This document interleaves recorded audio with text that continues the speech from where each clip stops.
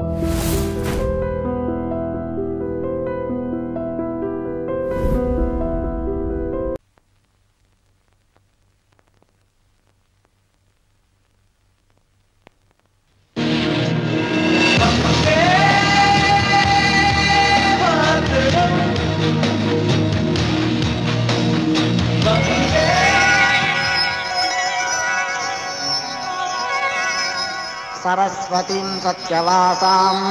environment makes a man a perfect man ఒక గురుకులం గురించి తెలుసు. విద్యాపీఠాల గురించి తెలుసు. రవీంద్రుని శాంతినికేతన్ గురించి తెలుసు.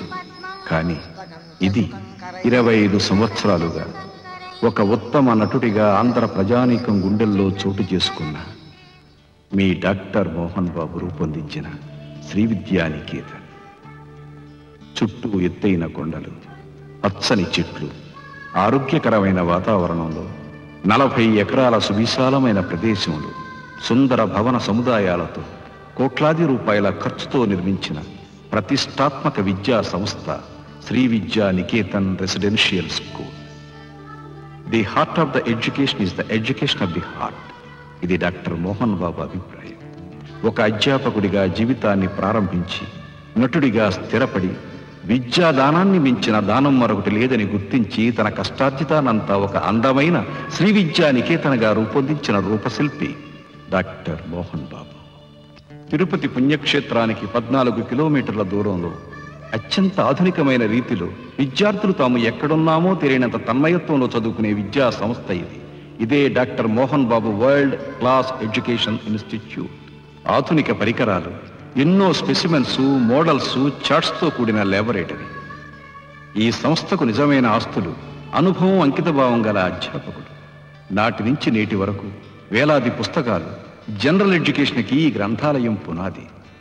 అన్నింటినీ మించి state of the art computers VSAT సౌకర్యం కలిగిన ఏకైక రెసిడెన్షియల్ స్కూల్. భోజనాలు చేసే ముందు విద్యార్థులు చేసే ప్రార్థన భారతీయ సంస్కృతికి నిలువుటద్దు. శుచి శుభ్రత ఇక్కడ ప్రధాన అంశం. డైటీషియన్ సలహాలతో రుచికరమైన పుష్టికరమైన ఆహారం తయారు చేస్తారు. అన్నింటిని మించి డాక్టర్ మోహన్ బాబా విద్యార్థుల దృష్టిలో హీరో కాదు ఒక అన్న ఒక uncle. Music is a way of life. శారీరక ఆరోగ్యం ఉన్నప్పుడే మానసిక ఆరోగ్యం ఉంటుంది. శ్రీ విద్యానికేతన విద్యార్థులు వివిధ క్రీడలలో ఎంతో ఆసక్తి చూపడానికి కారణం అక్కడ కల్పించబడ్డ సౌకర్యాలు. వీటన్నింటినీ మించి క్రమశిక్షణకు మారుపేరు శ్రీ విద్యానికేతన్. క్రమశిక్షణతో కూడిన చదువే మనిషిని ఉత్తమ పౌరుని చేస్తుంది దానికి డాక్టర్ మోహన్ బాబు తీసుకున్న శ్రద్ధ ఉదయం విద్యార్థి విద్యార్థులు లేవడం దగ్గర నుంచి రాత్రి పడుకునేటంత వరకు ప్రతి నిమిషం ఏం చెయ్యాలో ఎలా ప్రవర్తించాలో గైడ్ లైన్సే ఈ సంస్థకి ప్రత్యేకత. ఇరవై నాలుగు గంటలు పుస్తకాలు పట్టుకుంటేనే మంచి చదువు అనుకుంటే అది పొరపాటు. పిల్లలకు మానసిక విద్య శారీరక విద్య ఆధ్యాత్మిక విద్య కావాలి. ఆరోగ్యాన్ని మించిన మహాభాగ్యం మరొకట్లేదు అందుకే శ్రీ విద్యానికేతంలోని ఒక్కొక్క విద్యార్థిని విద్యార్థులు అన్ని రకాల ఆటల్లోనూ సాంస్కృతిక కార్యక్రమాల్లోనూ ఆరితేరడానికి అన్ని సదుపాయాలు కలగజేసింది ఈ సంస్థ. ప్రతి సంవత్సరం నిర్వహించే స్పోర్ట్స్ డే అందులో చదివే విద్యార్థిని విద్యార్థులకు పండగ రోజు. ఆ రోజు రాష్ట్రంలోని వివిధ రంగాల్లోని పెద్దల్ని ఆహ్వానించి వారి ముందు విద్యార్థులతో కార్యక్రమాలు నిర్వహించడం ఈ సంస్థ ప్రత్యేకత. భిన్నత్వంలో ఏకత్వానికి ప్రతీకగా విభిన్న సంస్కృతుల వారసులైన విద్యార్థుల ఐక్య కలయిక శ్రీ విద్యా నికేతన్. కుల మత వర్గ వర్ణ రహితంగా మెరిట్ ఉన్న విద్యార్థిని విద్యార్థులకు ఇరవై ఐదు శాతం ఉచిత విద్యను కల్పించడం డాక్టర్ మోహన్ బాబు ఔదార్యానికి నిదర్శనం. Right education for a bright future. CBSE state సిలబస్లతో co educational English medium school fourth class to tenth class Shri Vidya Niketan residential school. ఇప్పుడు మీరు చూడబోయే ఈ చిత్రానికి ప్రత్యక్షంగా మీరు చూపే ఆదరణ పరోక్షంగా ఈ విద్యా సంస్థ మరింత ఉన్నత శిఖరాలను తీసుకువెళ్ళడానికి ఉపకరిస్తుంది.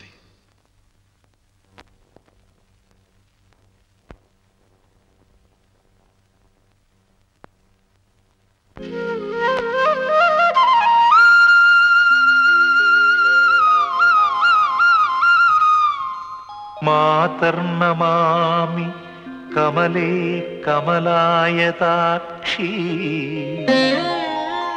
श्रीविष्णुहृत्कमलवासिनी विश्वमातः। क्षीरोदरे कमलकोमलगर्भगौरी। लक्ष्मी प्रसीद सततं नमतां शरण्ये। ലക്ഷ്മീ പ്രസീദ സതതം നമതാം ശരണ്യേ.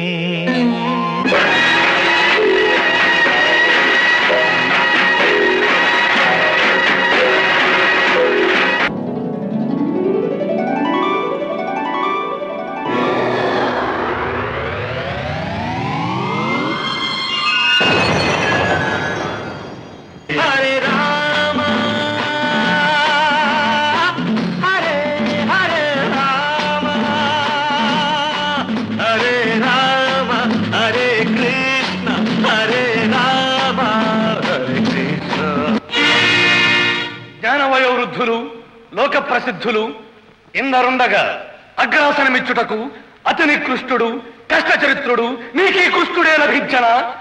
సమర్థులైన జనపాలకులెందరినో నిరసించి ఒక పశుపాలకుని పూజించుటకు నీకెంతటి ధైర్యము? మీ భారతీయులంతా నాకు స్నేహితులు. మా వంటవాడు భారతీయుడు.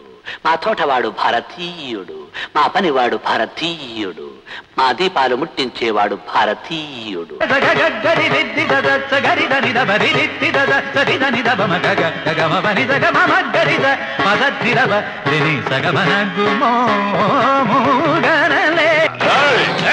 అరిస్తే చరుస్తా చరిస్తే కరుస్తా కరిస్తే నిన్ను కూడా బొక్కలో వేస్తా. కబడ్దా ఆడదంటే అలుస నిమ్మకాయ పులుస కోడికూర దినుస కంట్లు నలుస అంటూ లెక్చర్లు మాక అడుసుల్లో తొక్కేస్తా. పుణ్యభూమి నాదేశం నమో నమామి.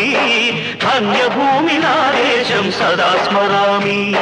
The relationship between two persons of a family must be like a fish and water. But it should not be like a fish and a fisherman.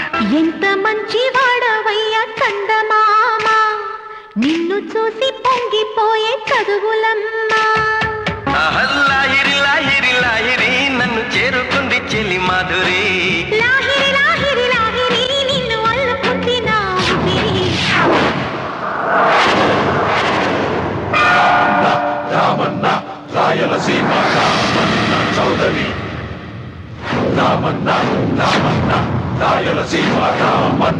ఊపిరి. నాగేంద్రహారాయ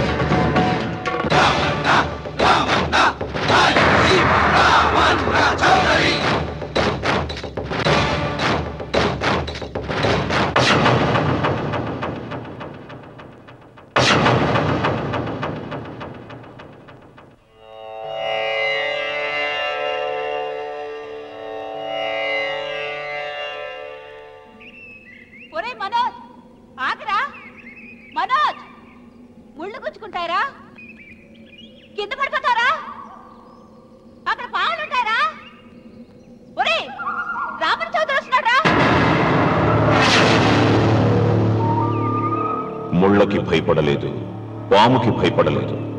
రామన్న చౌదరి పేరు వినగానే రాతిబొమ్మలా ఆగిపోయాడు. అవును రామన్న చౌదరి చిన్నవాళ్ళకి చిరుత పులి పెద్దవాళ్ళకు పెద్ద పులి. ఎవరితను? రాయలసీమ రామన్న చౌదరి తాతలు.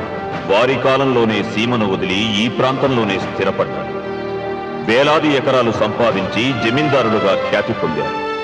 అందుకే రామన్న చౌదరిని అందరూ రాయలసీమ రామన్న చౌదరి అంటారు. గుమ్మం దాటవలసి వస్తే నల్ల చొక్కా వేసుకుని బయలుదేరుతాడు. వీధి గుమ్మాన్ని వదిలిపెట్టి పెరటి గుమ్మం వైపు నుంచే వెళతాడు. ఎందుకో? ఈమె సీతారత్నం. రామన్న చౌదరి అడుగులో అడుగు వేసి అతను మడుగులో దిగమంటే దిగే భార్య. తండ్రి కంటి చూపుతోనే సమస్తం అర్థం చేసుకునే పెద్ద కొడుకు మురళి. ఇతను ఇంజనీరింగ్ చదువుతున్న రెండో కొడుకు రఘు. తన భుజం మీదున్న జందం కంటే ప్రేమగా స్నేహితంగా చౌదరిని ప్రేమించే ఒకే ఒక వ్యక్తి ఈ వెంకట శాస్త్రి. ఇంతమంది తనను ప్రేమించిన రామన్న చౌదరి మాత్రం భూమిని ప్రేమిస్తాడు. తన కండతో తన అండతో తన మొండితనంతో కావాలనుకున్న దాన్ని ఆక్రమిస్తాడు. కాదన్న వాళ్ళను కాల రాస్తాడు ఈ భూమి మొత్తం నాది అని ఒక మ్యాప్ వేయించుకున్నాడు. ఈ కనిపించే మ్యాప్లో తొంభై శాతం అతను ఇప్పటికే ఆక్రమించుకున్నాడు. ఈమె పేరు నాగసులోచన. ఈ ముసలమ్మ నాగసులోచనకు బామ్మ. వీళ్ళ ఐదెకరాలను మాత్రం ఆక్రమించుకోకుండా వదిలిపెట్టాడు రామన్న చౌదరి. అంతేకాదు నాగసులోచనకు అప్పుడప్పుడు డబ్బు సాయం కూడా చేస్తుంటాడు. ఇక మిగిలింది ఇదిగో ఈ సుబ్బారాయుడి పదెకరాల పొలం. గుండె బలం తనకుందంటాడు. ఇతను పహిల్వాన్ పాపాల తన పదిహేను ఎకరాల పొలం రామన్న చౌదరికి ఇవ్వనని అడ్డం తిరిగాడు. ఈ సాంబశివరావు తనకున్న ముప్పై ఎకరాల పొలం ఇవ్వనన్నాడు. ఏ పనైనా తెలివితో చెయ్యాలంటాడు ఇతను. ఇవన్నీ ఒకప్పుడు రామన్న చౌదరి తండ్రి పొలాలు. వీళ్ళు కౌలుదారు. కౌలుదారి యాక్ట్ కింద వీళ్ళు కోర్టుకెక్కి పదిహేనేళ్ళు గడిచాక గెలిచారు. అందుకే రామన్న చౌదరి కన్ను ఈ మన్ను మీద ఇప్పుడు పడింది. తన కుడి భుజం అన్వర్ని పొలం స్వాధీనం చెయ్యమని సుబ్బారాయుడు దగ్గరికి పంపాడు.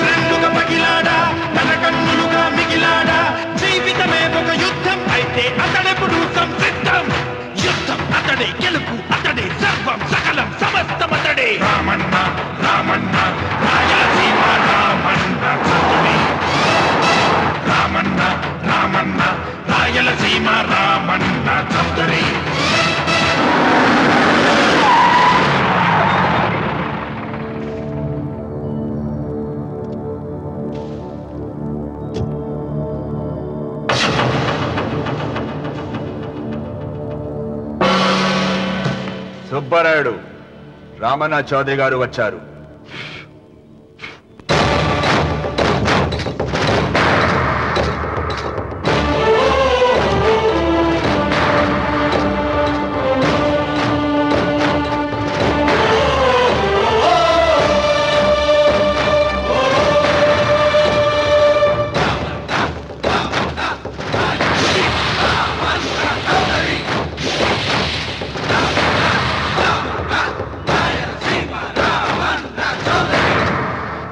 నిన్న కబరు తెచ్చాను కదా ఇవాళ కవరు దస్తావేజు తెచ్చాను.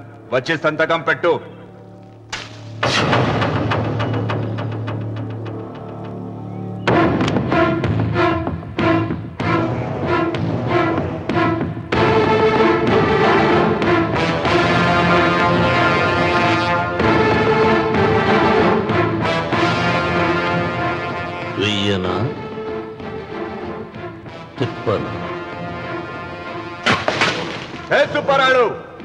కొండ చిల్వ నోటులు కంఠం పడుతున్నావు. చేస్తావు. ఆకు తిప్పక ముందే సంతకం పెట్టాయి. అయినా ఆకు తిప్పతే ఏమవుతుంది నీకు తెలుసు కదా? అంత చావదచ్చినోడిని ఏం కాదులే. నా వెనక మాల బలగం ఉంది. ఏం చేసుకుంటాడో చేసుకోమను.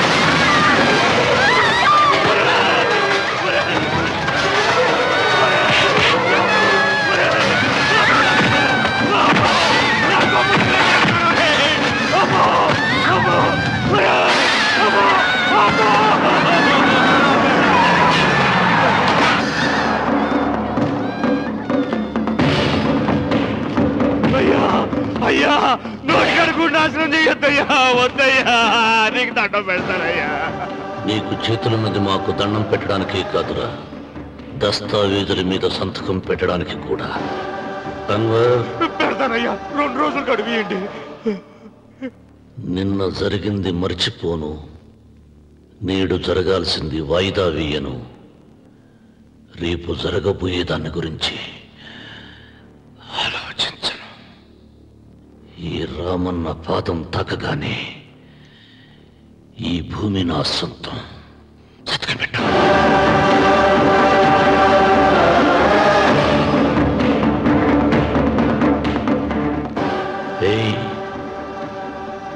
బలవంతుడు ఎదురు వచ్చినప్పుడు తల వంచిన వాడు బాగుపడతాడు. ఎదిరించిన వాడు బాగులో పడతాడు. రామన్ రామన్న చౌదరి.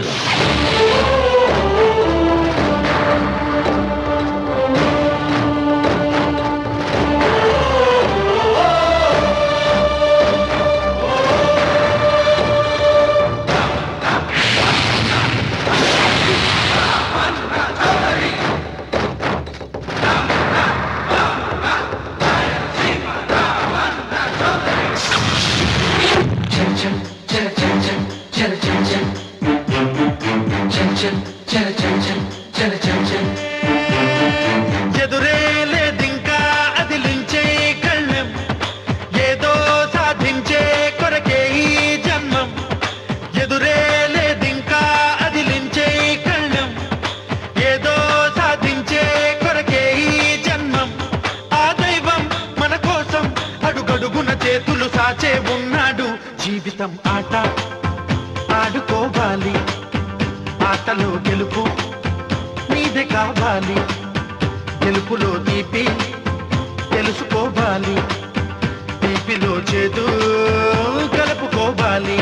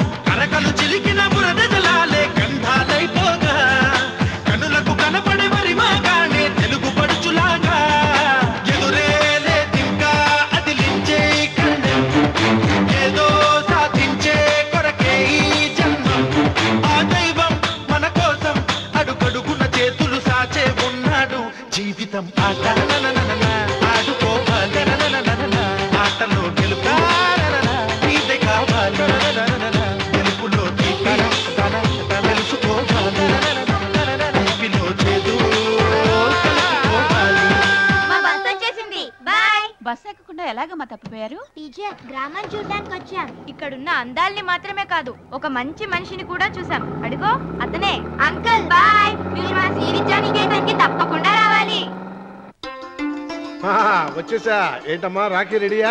నీదే ఆలస్యం. తోడపట్టకపోయిన ప్రతి సంవత్సరం మర్చిపోకుండా కడుతున్నావు అమ్మా దీర్ఘ సుమంగళి భవ. మంచి మట్టి గాజులు వేయించుకోమ్మా. ఈ పేదవాడు నీకు ఇంతకన్నా ఇచ్చుకోలేడు. మట్టి గాజులు ముత్తేదికి శుభం అన్నయ్య. అవును ఈరోజు పూజ బాగా భారీగా చేసావమ్మా ఎందుకలా అడుగుతున్నావు? నిన్న మీ ఆయన ఇంత పాపం చేశాడు. వెంకన్న ఇందాకటి నుంచి ఆకాశవాణి వార్తలు వినిపిస్తున్నాయి. నన్ను చూడగానే టక్కున కరెంటు పోయిందేమిటి? నువ్వు మమ్మల్ని మాట్లాడిస్తే కదా తప్పుకోమ్మా. అంతేనా? పొద్దున్నే తపాలా మోసిన సంగతి నాకు తెలిసిపోయిందని భయం నేను తప్పాలా మోసానా? ఏం చేయలేమ్మా? వీడి గురించి నేను ఏమైనా చెప్పానా? ఇంతకు ముందే కదా అన్నయ్య ఆయన ఇంత పాపం చేశారన్నా? అయ్యో దేవుని ముందైనా నువ్వు అబద్ధం చెప్పగలవేమో కానీ మీ ఆయన ముందు నువ్వు అబద్ధం చెప్పలేవు. వెంకన్న సీత చేత రాఖీ ఎందుకు కట్టించుకున్నావు? నా చెల్లెలి కాపురం బాగుండాలని మరి నువ్వు? అన్న జీవితం చల్లగా ఉండాలని కోరుకున్నావా? కోరుకున్నానండి. ఏం కోరుకున్నావు? వాడు గులాబీ తోట ఎండిపోయిందని తెలుసా? ఇదిగో సీత రాఖీ కట్టించుకున్న చేత్తోనే ఈ డబ్బులు వాడికి. రాముడు గులాబీ తోట ఎండిపోయిందని. నాకెలా తెలుసు అనేగా? నా కన్ను నాకు కావలసిన పొలాన్నే కాదురా. నా ఆత్మీయుల కష్టాలు కూడా చూస్తుంది. టిఫిన్ దినం మురళి రఘు ఎక్కడ? ఒరే రఘు. ఒరే ఇంతసేపు ఎక్కడికి వెళ్ళవరా?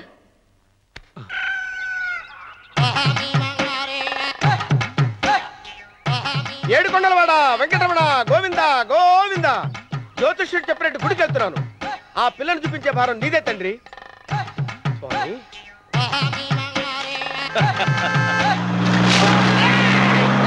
రే, రే, రే, రే, రే, దరిద్రుడా. கடுப்பு கறந்துட்டோம் கடுத்து வரா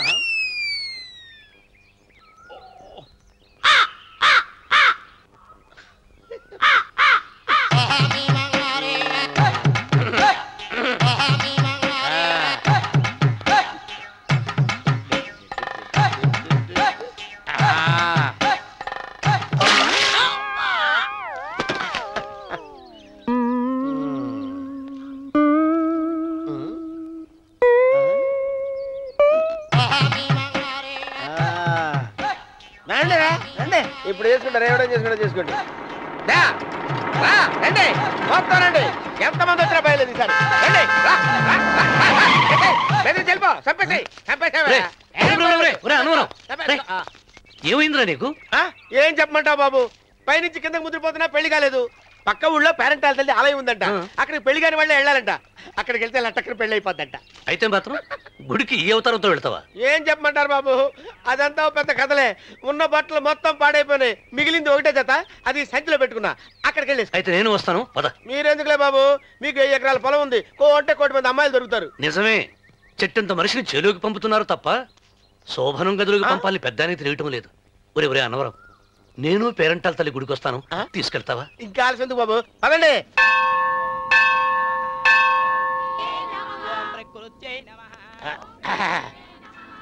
అనవరం గుడిలోకి వెళ్ళే ముందు కొలంలో కాళ్ళు కొడుకుని వెళ్ళడం ఆచారం రా. బాలేవాళ్ళ బాబు గారు మనం ఇక్కడికి వచ్చినందుకు కాళ్ళు చేతులు కడుక్కోవడానికే? మీరు కాళ్ళతో కడుక్కోనండి. నేను వెళ్తాను. నేను వెళ్ళిపోతాను బాబు.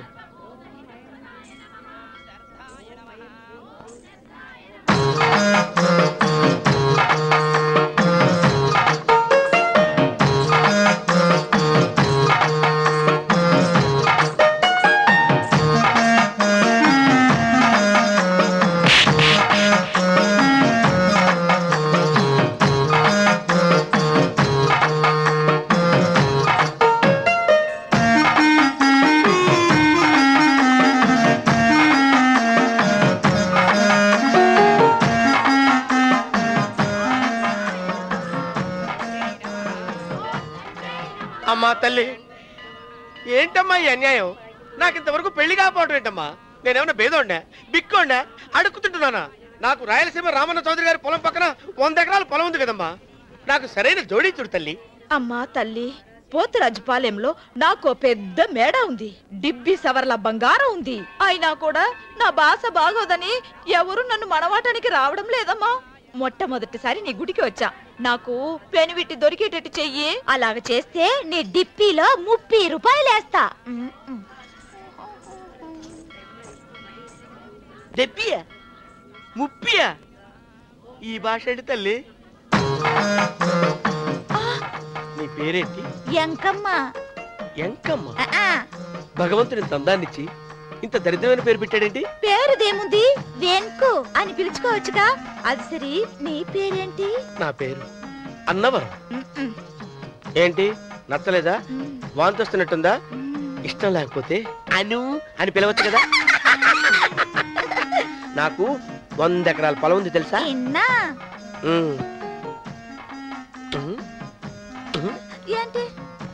నన్ను. పెళ్ళి చేసుకుంటావా?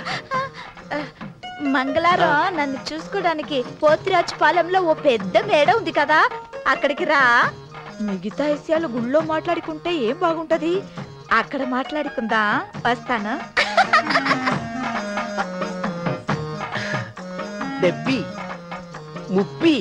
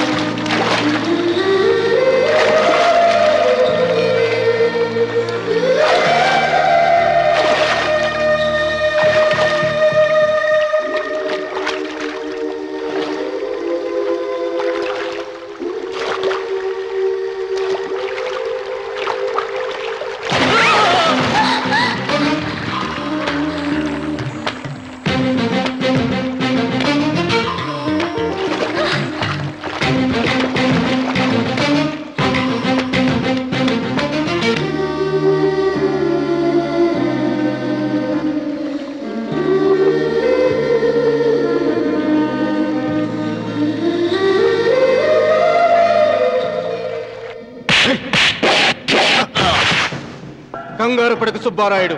మేమిద్దరం ఊళ్ళో లేని టైం చూసి దెబ్బతీశాడు ఆ రామన్న చౌదరి. నీ కండలు చూసే కదయ్యా ధైర్యంగా ఆయన ఎదిరించాను పెళ్ళం బిడ్డలు చంపేస్తాడేమో భయపడి సంతకం పెట్టి. ఏళ్ళని తిప్పుకొట్టడం కాదు. నీ బేతాపం ఏదో ఆ రామణ సౌదరి మీద చూపించాల్సింది. మిమ్మల్ని నమ్ముకునే కంటే ఇదిగి తీసుకో ఈ పోలీస్ ఆయన నమ్ముకోవడం మంచిది. అమ్మో రామన్న చౌదరిని అరెస్ట్ చేసే దమ్ము నాకు లేదు. కావాలంటే కాకి బట్టలు తీసేసి కాలంలో బట్టలు ఉతుకు బతుకుతా. ఆయన జోలికి మాత్రం వెళ్ళను. సర్లే సుబ్బారాయుడు. రేపు పంచాయతీలో ఈ రకంగానే జరిగిందని చెప్పు. నీ పొలం నీకు ఇప్పిస్తాయేం? పంచాయతీ పెద్దల్లో నేను ఉంటాడా కదా? అగ్గిలో ఓ పుల్ల. ఎక్కువేసా మరి నా పెళ్ళం పిల్లల సంగతం? నువ్వే తొక్కులాడకు సుబ్బారాయుడు. యాడ్నో చోట నేనే దాచిపెడతాలే. అది సరే. రామన్న చౌదరిని పోలీస్ స్టేషన్కి పిలిస్తేనే పొండహ అంటాడు. పంచాయతీకి పిలిస్తే వచ్చి పీకలకు వస్తాడేమో సీత పిల్లలేరి మురళి పొలానికి వెళ్ళాడు రఘు కాలేజీకి వెళ్ళాడండి. ఆ రాస్కెల్ ఎక్కడ? ఆ? అదే వెంకన్న. ఇంకా రాలేదండి. కూర్చో. పర్వాలేదండి. కాసేపు నీతో మనసిప్పి మాట్లాడాలనుంది. కూర్చో సీత.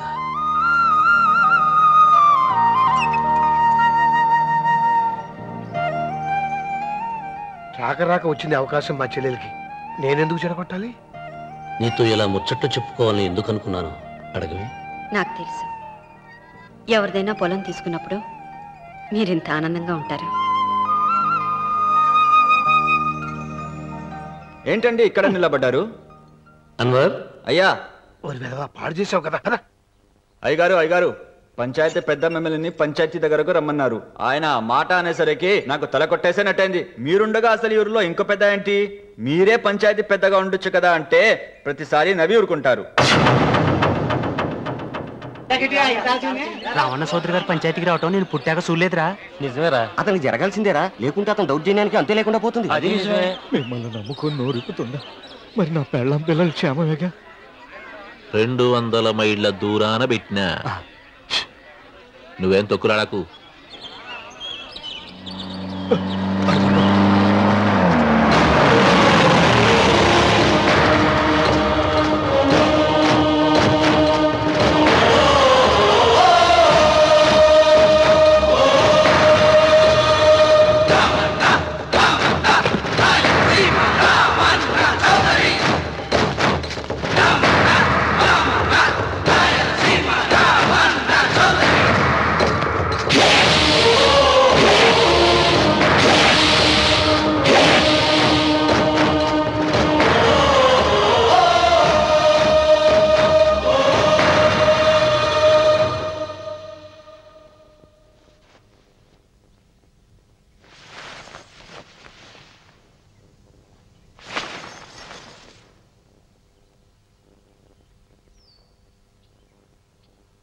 విశ్వేశ్వరయ్య గారు నన్ను పంచాయతీకి ఎందుకు పిలిపించారు? మీరు తన ఇంటి దగ్గరికి వచ్చి పొలం ఇమ్మని బెదిరించారని.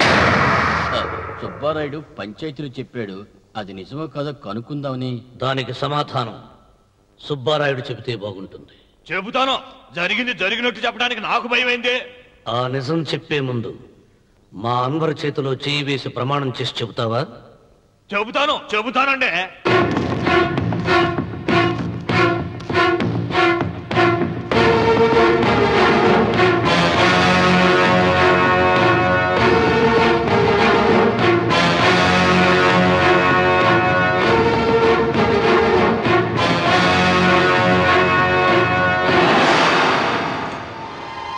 పెళ్ళం తాలిపట్టు. పెంచల తెచ్చాం.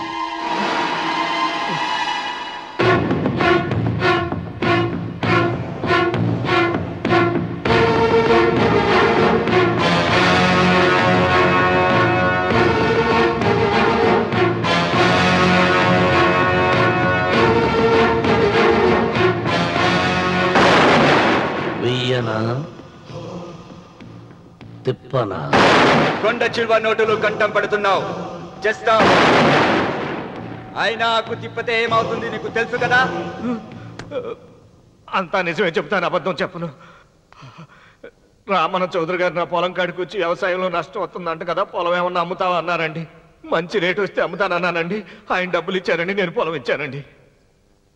ఆయన మనుషులు నీ కుప్ప తగలబెట్టినారంటివే. మా పాలేరు తెలియకో బీడి ముక్క పడేసినాడంట. తప్పైపోయిందండి. పెద్ద మనుషులు పంచాయతీకి పిలిపించాను.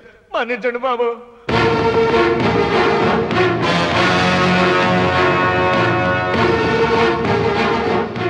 ముగిసిందా పంచాయతీ? ఇక నేను బయలుదేరుతున్నా. క్షమించండి రామన్న చౌదరి గారు. విశ్వేశ్వరరావు కాలవలో ఉంటే పడవ బండిని మోస్తుంది. అదే రోడ్డు మీద ఉంటే బండి పడవను మోస్తుంది. పదవిలో ఉన్నాం కదా అని మీరందరూ మీ ఇష్టం వచ్చినట్లు ప్రవర్తిస్తుంటే రేపు రోడ్డు మీదకు రావలసి వస్తుంది. రామన్న రామన్న చౌదరిరా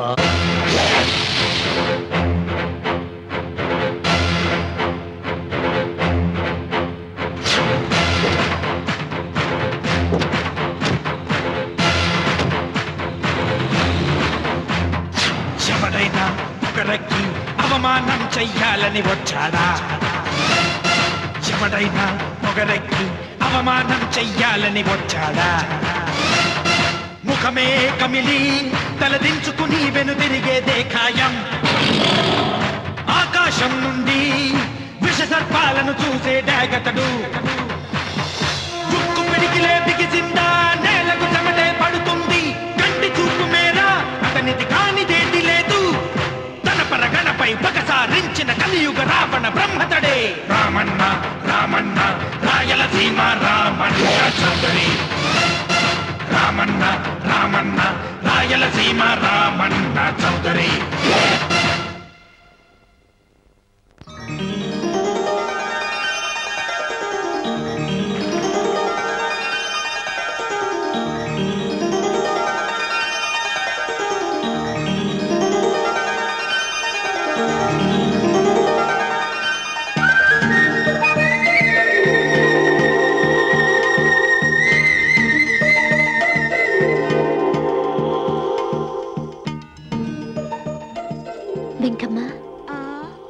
కాళ్ళు ఒత్తేది కూడా తెలియకుండా మెత్తగా ఒత్తుతున్నవే.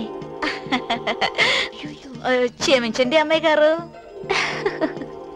అన్నవరం పొద్దుటి నుంచి నా మనసు నా దగ్గర లేదురా. ఏ చేతి ఖర్చులు డబ్బులు లేవని ఎక్కడ తాకట్టు పెట్టారా? లేదురా. ఆ, అమ్మాయి గుర్తొస్తుంది. ఈయన్ని గుడికి తీసుకెళ్ళటం నాదే తప్పు. పంపతీసి నేను చూసిన అమ్మాయి గురించి ఆలోచిస్తున్నాడా ఏంటి? ఏంట్రా సణుగుతున్నావు? ఆహా, సణుగుడు కాదు చిరబాబు గారు. ఆవిడ గురించే ఆలోచిస్తున్నా. ఆవిడ గొంతు ఆ కళ్ళు ఆవిడ కట్టుకున్న చీర ఆవిడ పెట్టుకున్న నగలు. చీర ఎక్కడ కట్టిందిరా? గుండెల దాకా లంగా కట్టుకుని కొలను స్నానం చేస్తుంటే? కొలంలో స్నానం చేయడం ఏంటి చిరబాబు గుళ్ళో నా పక్కన నిలబడి హారతి తీసుకుంటాను. నువ్వెవరి గురించి మాట్లాడుతున్నావురా? నేను చూసిన అతను చాలా గొప్పవాడు బాగా డబ్బులున్నవాడు. రేపు నన్ను చూసుకోవడానికి వస్తున్నాడు. అందుకని మీరు ఏంటి?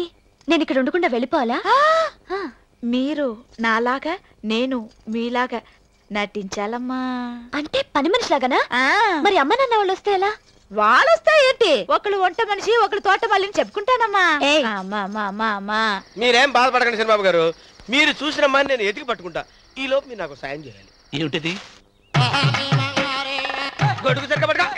వంగలేకపోతున్నావా? మ్మ్. ఆ? పని చేసే పద్ధతి? ఎవరా నువ్వు? ఎవడ్రా నువ్వు?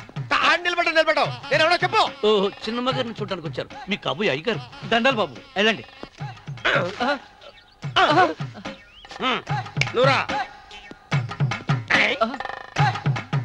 పెద్దయ్య గారు అమ్మగారు లేకుండా ఈ చూసుకోవడాలేంటో రేయ్. కొంచెం ఎక్కువ చేస్తున్నట్టున్నావు. ఎవరిని ఎక్కడ ఉంచాలో అక్కడే ఉంచాలి. వీడు కొంచెం చదివిచ్చాను. నెత్తురెక్కుతున్నాడు. వీడి సంగతి తరువాత.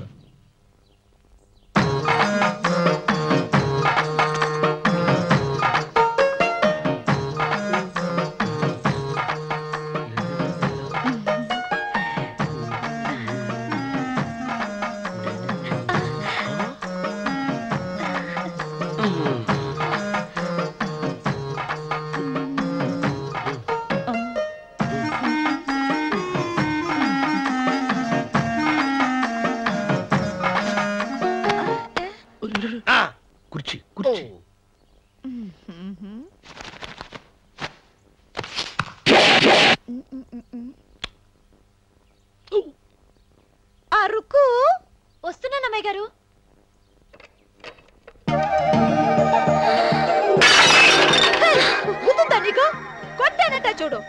క్షమించండి వేరే కాపీ తెప్పిస్తాను. వద్దు. కూర్చో. ఏంటా? ఈ అమ్మాయి చూస్తే నోరూరుతుంది. ఊరాల్సింది నీకు కాదు బాబు నాకు. వెన్నపొడి ప్రవద్దు ఒరే చాలా ఎక్కువగా మాట్లాడుతున్నా నాకు నోరూరుతుంది కుర్చీలో కూర్చుంది ఆ పిల్లని చూసి కాదు కింద కూర్చుంది పని పిల్ల. దాన్ని చూసి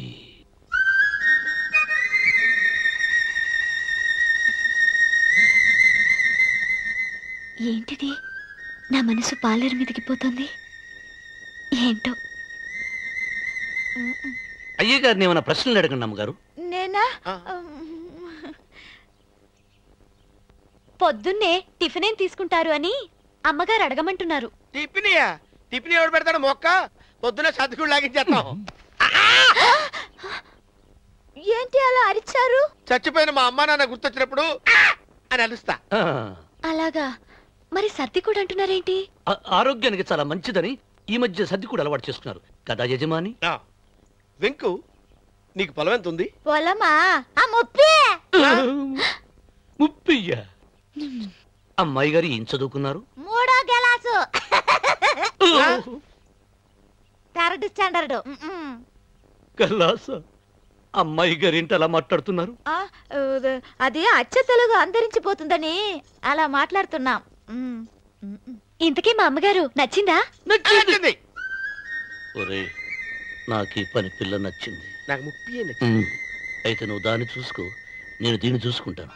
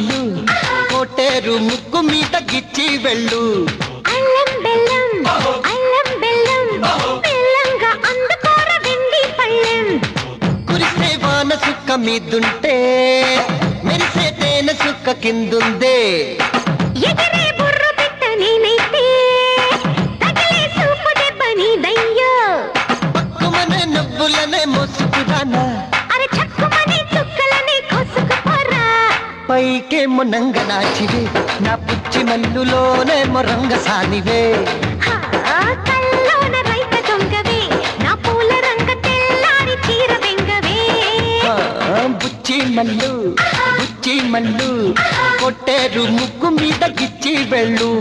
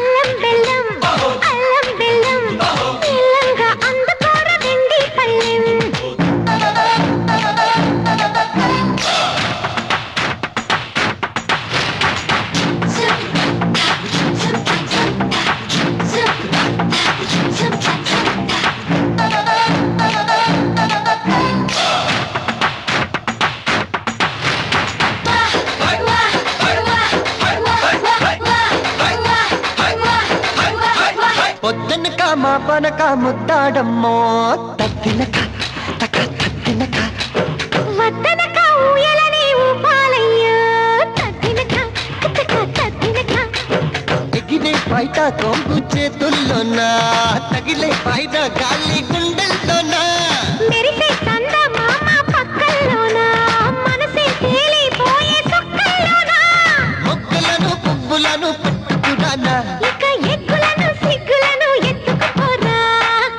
పైకి మొనంగ నాచివే నా పిచ్చి మల్లులోనే మొనంగ సానివే హే హే కల్లోన రైక దొంగవే. నా పూల రంగ తెల్లారి తీర బింగవే. పైకి మొనంగ నాచివే నా పిచ్చి మల్లులోనే మొనంగ సానివే ఓ పైకి మొనంగ నాచివే నా పిచ్చి మల్లులోనే మొనంగ సానివే ఏయ్,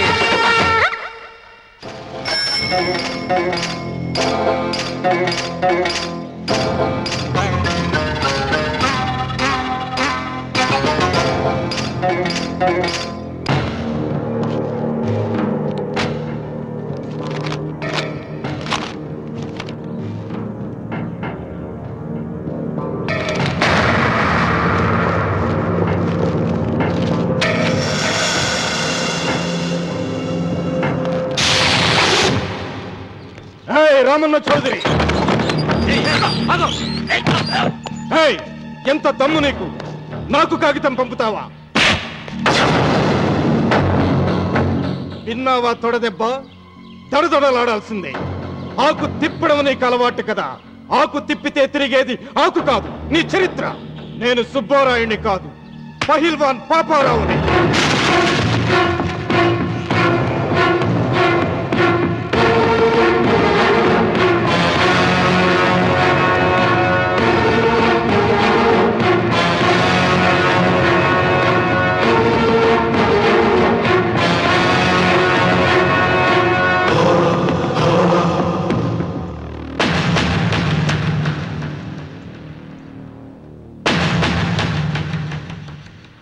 అది నా జోలికి వస్తే ఎముకలు విరిగిపోతాయని అర్థం చేసుకున్నావన్నమాట!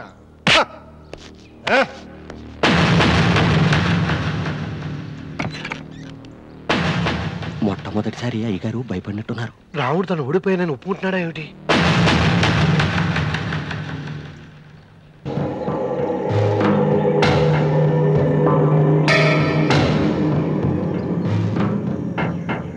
నువ్వు వాళ్ళ ఇంటికి పోయి తొడగొట్టి సవాల్ చేసినప్పుడే నోరు మెదపనోడు ఇలా కారు కదుపుతాడా? రాడన్నా నమ్మకం. వస్తే బాగుండు. నా కండలకి యమ దురదగా ఉంది. రామన్న చౌదరి బాడీ మీద అరగ తీసుకోవాలని ఉంది.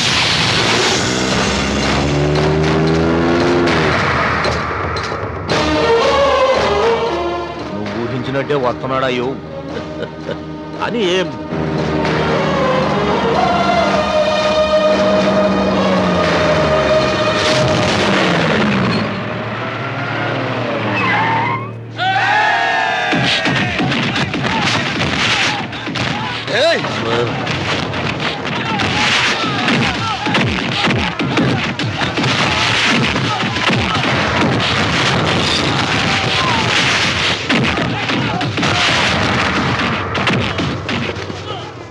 ఏయ్ రామన్న చౌదరి.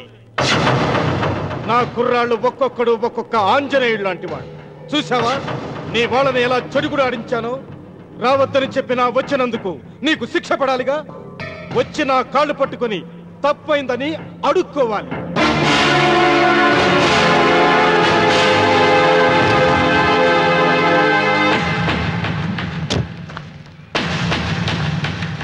ఆగో. నీ పాదం తాకిన నేల నీ సొంతం అంటావుగా అందుకే నువ్వు నేల మీద నీ పాదాలతో నడిచి రాకూడదు. మోకాళ్ళ మీద నడుచుకుంటూ రావాలి.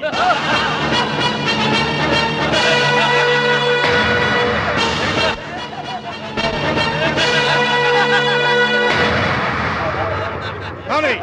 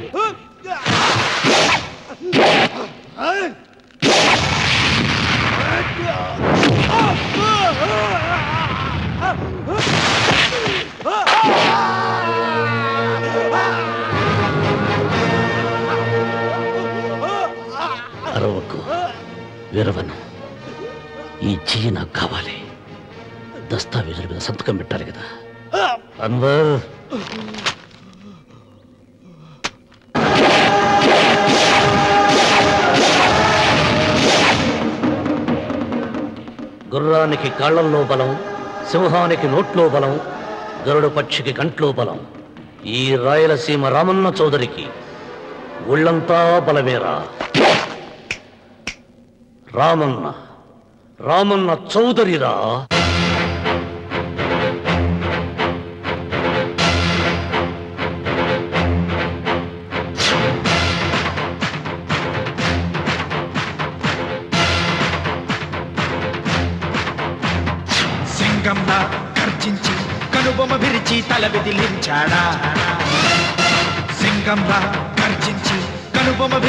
తల విదిలించాడా ఏ తొడలే చరిచే ఉన్మాదులకు పిడుగుపాటు అతడు. శత్రువింటికెళ్ళి ప్రళయమేఘమై ప్రతిధ్వనిస్తాడు. చూపుడు వేలు ఎత్తాడా? గాలికి ఊపిరిగాడదురా శివుడికి తెలుసు వజ్రమట్టి తన గుండెలో ఏముందో? పరులకు తెలియని రక్త ఘోషలు అశ్రు తర్పణంతో రామన్నా రామన్న రాయలసీమ రామన్న చౌదరి రామన్న రామన్న రాయలసీమ రామన్న చౌదరి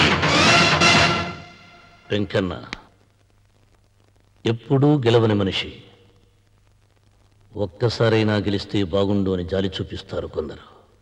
కదూ ఎప్పుడూ గెలిచే మనిషి. ఈసారైనా ఓడిపోతే బాగుండు అని అసూయపడతారు అందరూ. ఈ రామన్న చౌదరికి ఎన్నడూ ఓటమి లేదు రాదు.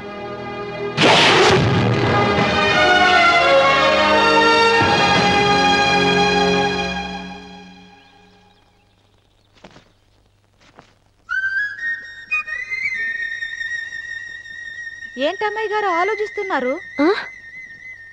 ఆ రోజు పనివాళ్ళ వచ్చాడే. అతని మొహంలో నాకు రాజకళ కనిపిస్తోంది. మరి నా కోసం వచ్చిన అతను? నాకెందుకు అతను యజమానేనా అని సందేహంగా ఉంది. ఏమండి? బాగా డబ్బున పిల్ల నాకు పెళ్ళంగా రాబోతుందని ఓ కుళ్ళిపోకండి. కుళ్ళు కాదురా. నీకు నచ్చిన పిల్ల మాట్లాడే మాటలు వింటుంటే ఖచ్చితంగా పని పిల్లి అనిపిస్తుందిరా. పనివాడిలాగా మాట్లాడితే ఏంటి? కొందరు డబ్బున్న మనుషులు అలాగే మాట్లాడతారు అమ్మాయి గారు. భాష మాత్రమే కాదే. ఆ చూపు ఆ రూపు ఒక్కటి కూడా యజమానిలో లేడు. పొట్టి గుమ్మడికాయలా ఉన్నాడు. మీరేనన్నా చెప్పండి శనిబాబు గారు. నేను ప్రేమించిన అమ్మాయి యజమానురాలు మీరు ప్రేమించిన అమ్మాయి పని మనిషి. ఈ అనుమానాలు ఎందుకురా? ఏదో ప్లాన్ వేసి మనిద్దరం ఒకసారి అక్కడికి వెళ్ళి చూసేస్తే పోలా? ఒకవేళ వాళ్ళు మనల్ని చూస్తే? అవును. ఎలా? ఆ ఇబ్బంది లేకుండా మీరు నాలాగా నేను మీలాగా వెళ్దాం. ఏ వెంకమ్మ? వెళ్దాం అమ్మా వెళ్దాం.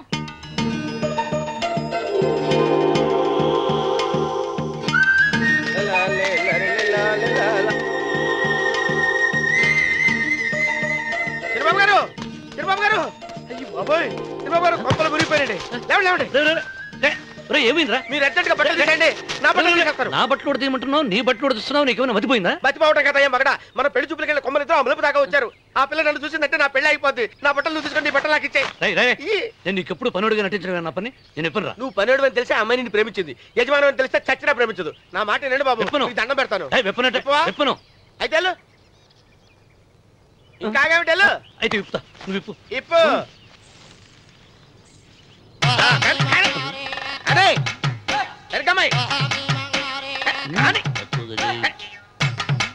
నిన్న నాదే నేడు నాదే రేపు నాదే ఎల్లుండి కూడా నాదేలే! ఏట్రా? కళ్ళు కనపట్టలేదా? కొవ్వెక్కిందా చంపేస్తాను. తెరిచేయి అన్నవరం. ఏంటి? ఈడ్చేవాడి గడం పక్క కొట్టేవాడి కుడి పక్క ఉండకూడదంటారు. నరుకుతా ఆ. వెళ్ళిపోతున్నారు.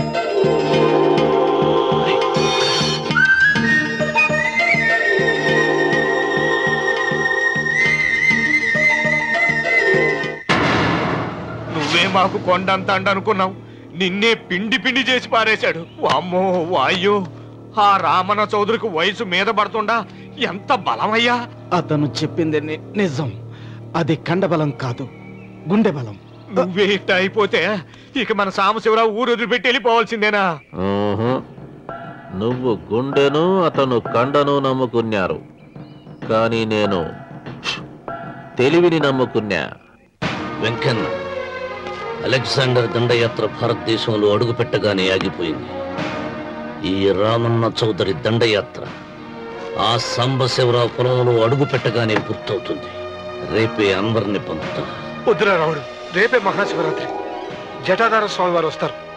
మీ తాతల కాలం నుంచి మీ ఇంటి ముందున్న శివలింగానికి పూజలు జరిపిస్తున్నారు. నువ్వెప్పుడో చూసావు రేపు ఒక్కరోజు ఇంట్లో ఉండరా. మనకు వయసు పెరిగి తేజస్సు తరిగిపోతుంది. ఆయనకి రోజు రోజుకి వయసు తరిగి తేజస్సు పెరిగిపోతుంది. చచ్చే జనానికి పిచ్చిపట్టి గడ్డాలు పెంచిన వాళ్ళ కళ్ళ మీద అడ్డంగా పడుతుంది. రే వెంకన్న ఒకప్పుడు ఈ దేశంలో ముగ్గురు దేవుళ్ళు మూడు కోట్ల మంది మహానుభావులు ఉండేవాళ్ళు. అంటే మానవత్వం ఉన్నవాళ్ళు. కానీ ఇప్పుడు దేవుళ్ళు లేరు మహానుభావులు లేరు. ఈ స్వాములు మిమ్మల్ని మాయ చేయగలరు కానీ నన్నేమీ చేయలేరు.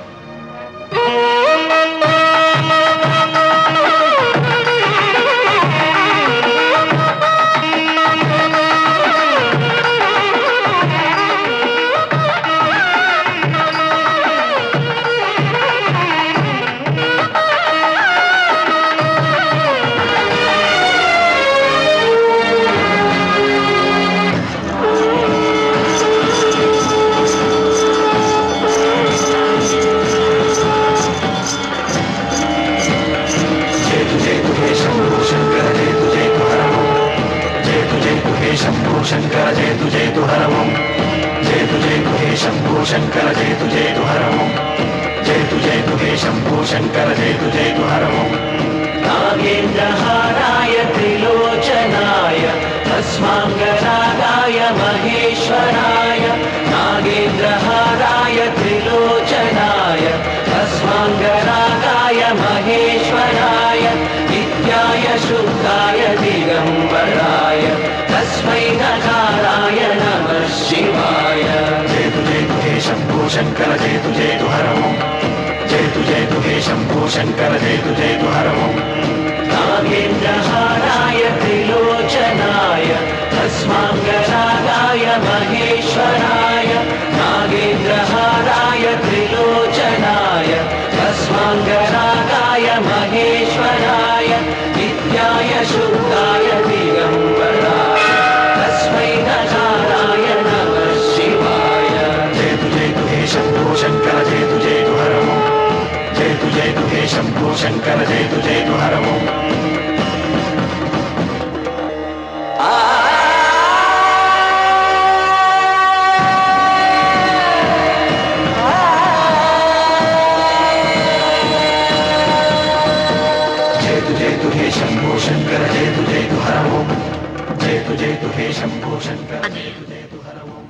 ఆయన ఏదో చెప్పాలని చూశారు. చెప్పకుండానే వెళ్ళిపోయారు. ఇన్ని సంవత్సరాలుగా స్వామి శివుని తప్ప మానవుడిని కంటితో చూడలేదు. ఆయన మొట్టమొదటిసారిగా మీ కుటుంబం ఒక చూశాడు. ఆ చూపుకు అర్థం ఏమిటో నాకు తెలియటం లేదు. నాకెందుకో భయం వేస్తోందమ్మా Thank you.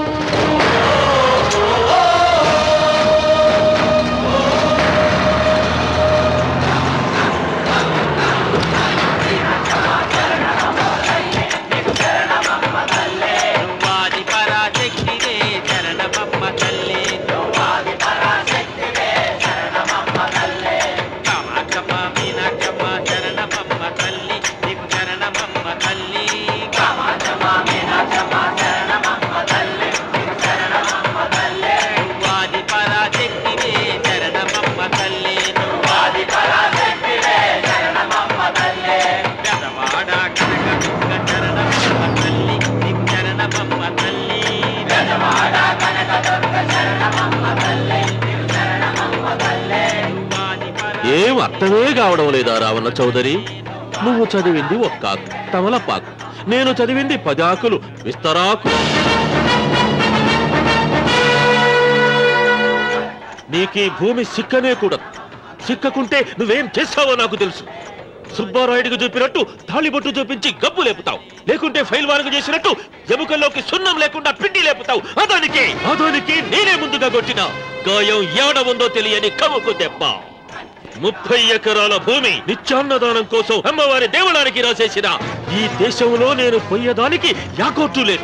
అదానికి దేవుని కోర్టుకు రాసినా నువ్వు వాటికి రాలేవు. నా ముప్పై ఎకరాలు నాకు దక్కకున్నా పర్వాలేదు. నీకు దక్కకూడదు. నా పొలం ఆక్రమించుకుందామన్న అహంతో పొగురుతో ఇంటికొచ్చినావు. తల దించుకొని తిరిగి దారి పట్టాలి. నీకు ఈ భూమిలో చారుడు మట్టి గుడక దొరకదు రావణ చౌదరి. కావాలనుకుంటే గుప్పెడు బుద్ధ దొరుకుతాది. అని గుడుక. వాళ్ళ మధ్యలో కూర్చొని తింటే చెట్లుండోది నా దెబ్బ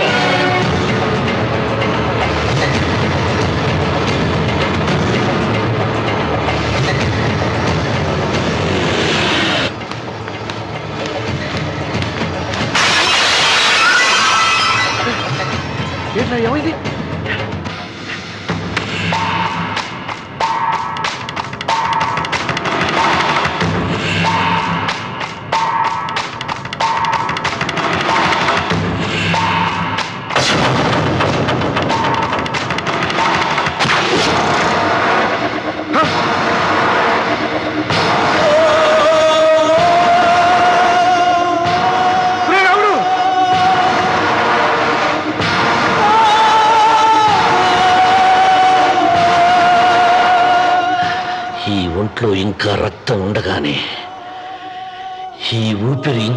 ఇంకా పీలుస్తూ ఉండగానే ఈ గుండె ఇంకా కొట్టుకుంటూ ఉండగానే ఓటమి నా వీపు తట్టింది.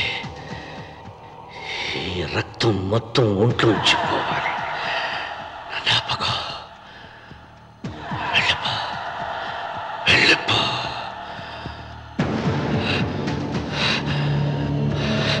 అమ్మా సీతారత్మ అమ్మాయిదిరా పెళ్ళికి వెళ్ళారండి అయ్యో రే నువ్వు డాక్టర్ తీసుకురా.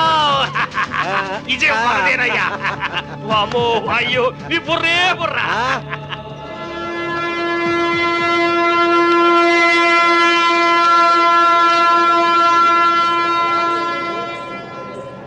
రే ఏంట్రా కింద పడింది తింటున్నావు?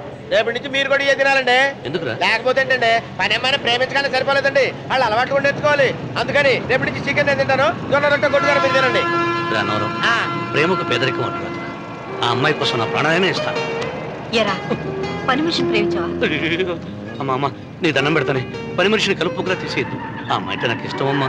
అమ్మగారు ప్రతి పెళ్ళికి అబ్బాయి గారు తీసుకెళ్ళి వాళ్ళు ఎత్తి అక్షంతలు వేయించడమే కానీ ఆయన నెత్తి మీద అక్షంతలు ఎప్పుడే ఇస్తారండి అసలు ముద్రపోయిన బెడకాయలో తయారవుతున్నాడు. అబ్బే, నేనండి. ఆ అమ్మాయి దేవురు ఆ విషయాలన్నీ నేను తర్వాత చెప్తాను కానీ అమ్మగారు ఆ చేతుల మీద కానీ నాకు కూడా పెళ్ళి చేయించండి నీకు పెళ్ళా? ఆ, అవునమ్మగారు. అబ్బాయి గారు పని అమ్మాయిని ప్రేమిస్తే నేను బాగా డబ్బులున్న అమ్మాయిని ప్రేమించారండి. అదిగో రైలు సిగ్నల్ ఇచ్చారండి. మీరు మా పెళ్ళికి కూడా సిగ్నల్ ఇచ్చేస్తే. ఈ రోజు మీ ఇద్దరికి ఏమైందిరా? ప్రేమలో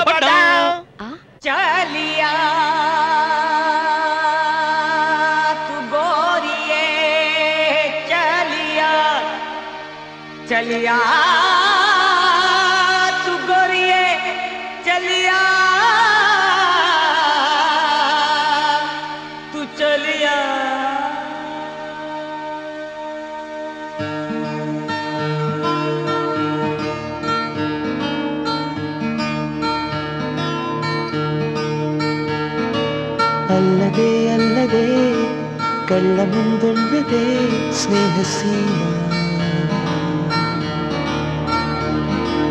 ఆగమంటున్నదే ఆశపడుతున్నదే కొత్త ప్రేమ. అడ్డుగా ఉండక పారిపోదూరమా?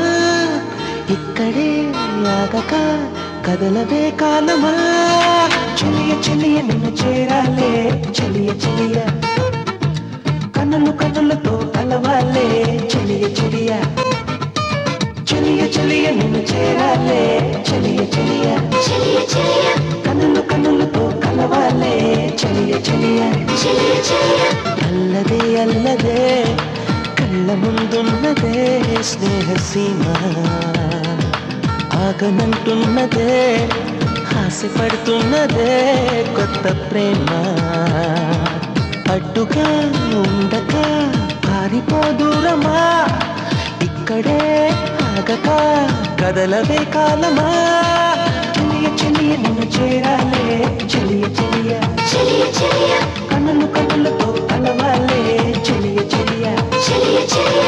చెలియ చెలియ నిన్ను చేరాలే చెలియ చెలియ. చెలియ చెలియ. కన్నులు కన్నులతో కలవాలే చెలియ చెలియ. చెలియ చెలియ. thank you.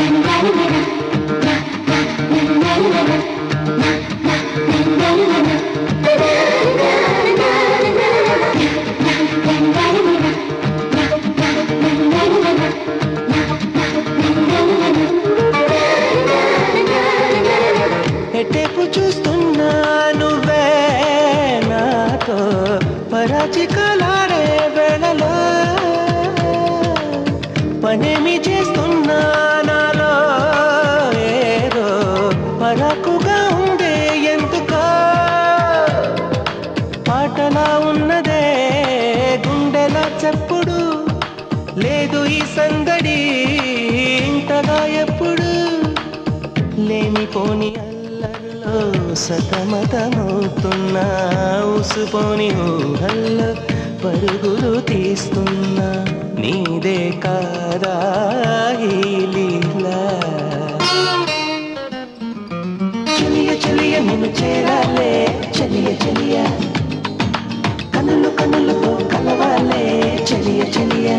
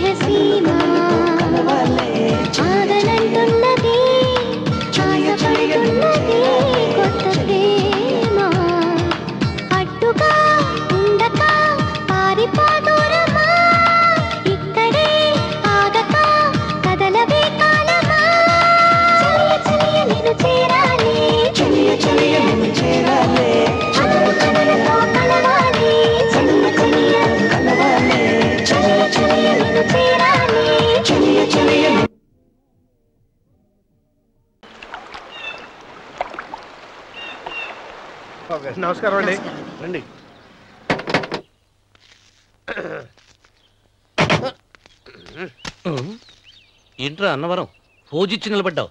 అరటికల్ లోపల తీసుకురా. నేను తీసుకురానండి. ఏ? నన్ను తీసుకెళ్ళమంటావా? మీరు తీసుకెళ్తారో చేత లోపల పెట్టుకుంటారు మీ ఇష్టం. ఏమైందిరా నీకు? ఏమైందంటారేంటండి లోపల నా గుండెలకు వస్తున్న ఎంకం ఉందండి. అది నన్ను ఎంత మోసం తెచ్చిందో తెలుసా అండి.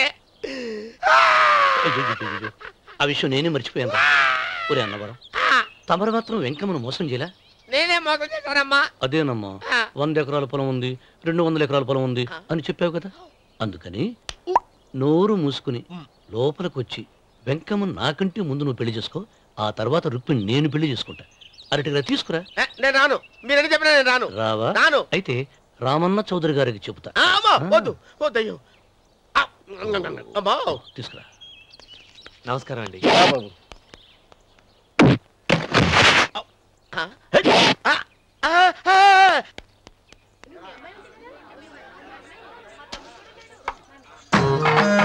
ఆ,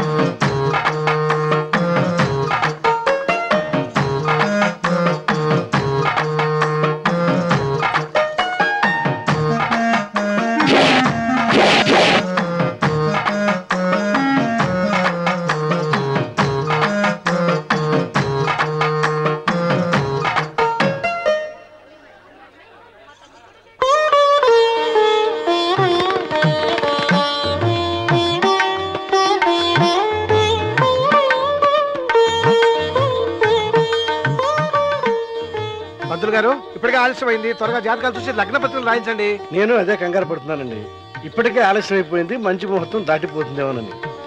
మీరు మాత్రం ఏం చేస్తారండి మీ ఊరు నుంచి బయలుదేరి రావాలంటే ఒకవైపు కొండ ఇంకోవైపు చెరువు మధ్యలో ఆలయం. ఆలయం లేకపోతే సమయానికి వచ్చి ఉండేవాళ్ళుగా. గాయం ఏడముందో తెలియని దెబ్బ ముప్పై ఎకరాల భూమి నిత్యాన్నదానం కోసం అమ్మవారి దేవుడానికి రాసేసిన.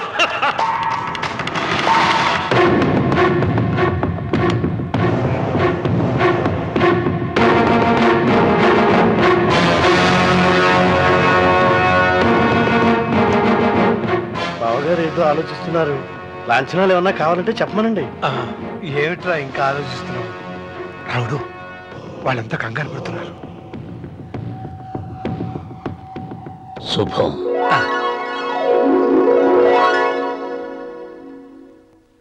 ఏం మాట్లాడుతుంటారు రావణ చౌదరి గారు? ఆలయం కూలగొట్టించి రొట్టేయించాలనా ఇన్ని సంవత్సరాలుగా మన గ్రామం కుగ్రామంగా మిగిలిపోవటానికి రహదారి సదుపాయం లేకపోవడమే కారణం. ఇదిగో ఆరు మైళ్ళ పొడవున రోడ్డు వేయించడానికి ప్లాన్ సిద్ధం చేశాను దీని మూలంగా నేను నూట ఇరవై ఎకరాల పొలాన్ని పోగొట్టుకుంటాను. అది సరేనండి. మరి ఆలయము? పదవిలో ఉన్న వాళ్ళు ఆలోచించవలసింది ఆలయాన్ని గురించి కాదు. ప్రజల శ్రేయస్సు గురించి. ఒక పక్క కొండ ఇంకొక పక్క చెరువు మధ్యలో ఆలయం. దాన్ని పడగొట్టకపోతే ఇంకో ఆరు మైళ్ళ దూరం ఎక్కువ పెరుగుతుంది. అది అమ్మవారి ఆలయము. నోరు లేని అమ్మవారి కంటే నోరున్న జనం గొప్పవాళ్ళు. రోడ్డు లేకపోబట్టే ఈ పల్లెలోని పేద ప్రజలు పండించుకున్న కూరగాయలు పట్టణానికి తీసుకెళ్ళలేకపోతున్నారు. వాళ్ళ బాగు కోసం రోడ్డు వేయించి తీరుతాను. దానికోసం ఏమైనా చేస్తాను. ఏం చౌదరి గారు? మీ ఇంటి మొగల శివలింగం అన్నే ఉండాలా?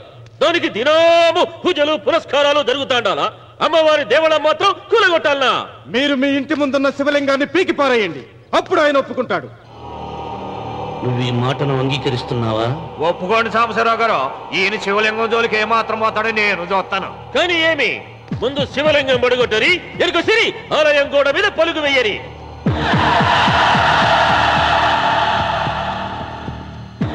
ముందుకేసిన అడుగు వెనక్కి తీసి అలవాటు ఈ రామన్నకు లేదు.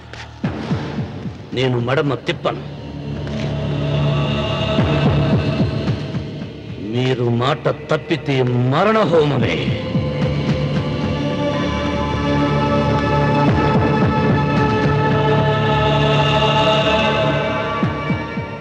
చూస్తా ఉంటే శివలింగాన్ని పీకి పారేసెట్టే ఉండాడే అయితే సాంబశివరావు గారి ముప్పై ఎకరాలకు ఎసరే. ఆ ఇంటి ముందుండేటిది మామూలు రాయి కాదయ్యా. మహిమగల శివలింగము. తరతరాలుగా వాళ్ళ వంశాన్ని కాపాడుతాడాడే దేవుడు. చెయ్యి వెయ్యని తెలుసని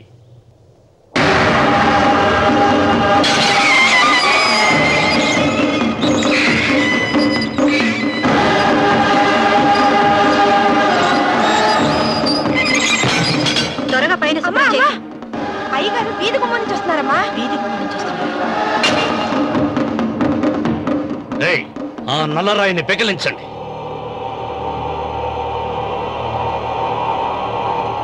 ఓ మీరందరూ హిందువులు. మీకు కళ్ళు పోతాయి మీ జీవితాలు కుళ్ళిపోతాయి.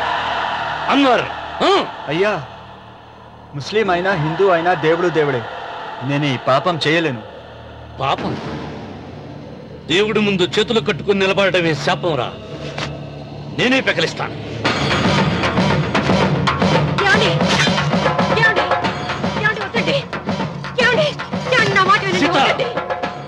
ఉత్తమ జాతి స్త్రీ ఒక్కసారి కోరిక కోరుతుంది.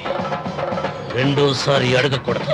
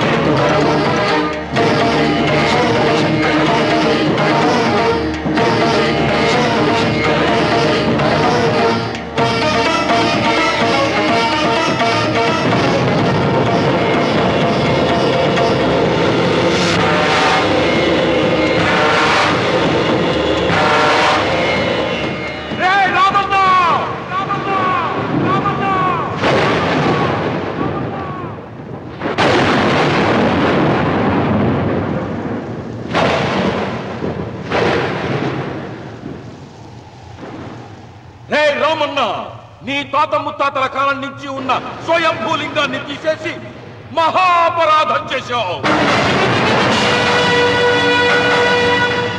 ఏ ఈశ్వరుడు నీ కుటుంబాన్ని వంశాన్ని మూడు కళ్ళతో చల్లగా చూస్తున్నాడో ఆ శివుడికి నువ్వు కోపం తెప్పించావు. మాట వేయించడానికి నువ్వే వడివిరా. భగవంతుడే వేయిస్తాడు. అమ్మవారి ఆలయాన్ని నువ్వు తాకలేవు శివరాత్రి నాటికి నీ స్వహస్తాలతో నువ్వు ఆ స్వయంభూలింగాన్ని తీసుకొచ్చి యథాస్థానంలో ప్రతిష్ఠించకపోతే నీ వంశం నిర్వంశమైపోతుంది.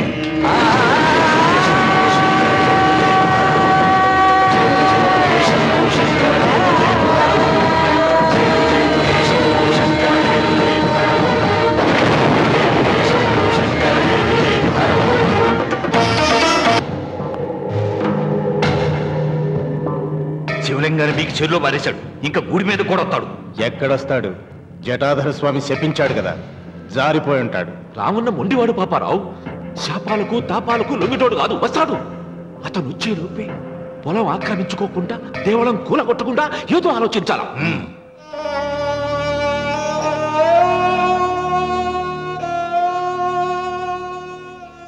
అన్నయ్య ఆయనతో మాట్లాడే ధైర్యం నాకు లేదు. నువ్వైనా మాట్లాడి. మళ్ళీ శివలింగాన్ని ఇక్కడ ప్రతిష్ఠించమని చెప్పు. వాడిని గురించి నాకంటే నీకే బాగా తెలుసమ్మా. వాడు నా మాట వింటాం. నాకు భయంగా ఉందన్నయ్య. ఆపద ఏ వైపు నుంచి వస్తుందో ఏమిటో.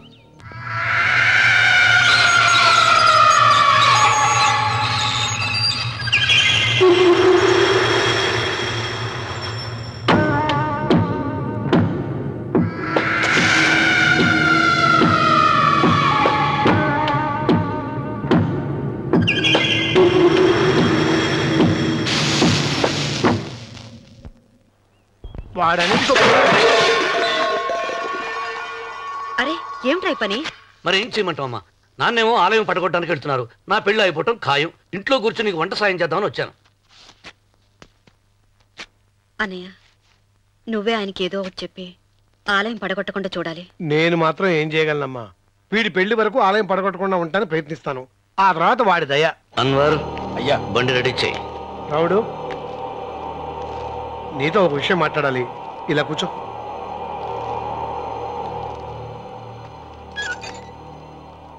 ఆలయం విషయంలో నీ పంత మానుకోవా? నిన్న జరిగింది మరచిపోను. నేడు జరగాల్సింది వాయిదా వేయను. రేపు జరగబోయే దాన్ని గురించి ఆలోచించను. ఆలయాన్ని ఈ రోజే పడగొట్టిస్తాను. నీకు కావాల్సింది పొలం కదా. ఆలయం జోలికి ఎందుకు వెళ్ళటం? ఆ పొలం నాకు దక్కకుండా అడ్డుపడింది అమ్మవారి ఆలయమేగా? ఆలయాన్ని పడగొడితే ఆ పొలం నీదవుతుందా? అవుతుంది. ఆ సాంబశివరావు పొలాన్ని రాసింది ఆలయానికేగా ముందు ఆలయాన్ని పడగొట్టించి ఆలయమే లేదు కాబట్టి ఇక పొలం ఎందుకని ప్రశ్నించి అప్పుడు నా స్వాధీనం చేసుకుంటాను. కొడుకు పెళ్ళికి తాంబూలాలు పుచ్చుకున్నావురా. మూడు ముళ్ళు వేయించకుండా ఆలయం పడగొట్టాలని బయలుదేరుతున్నావు. ఇది ఏమన్నా ధర్మంగా ఉందా?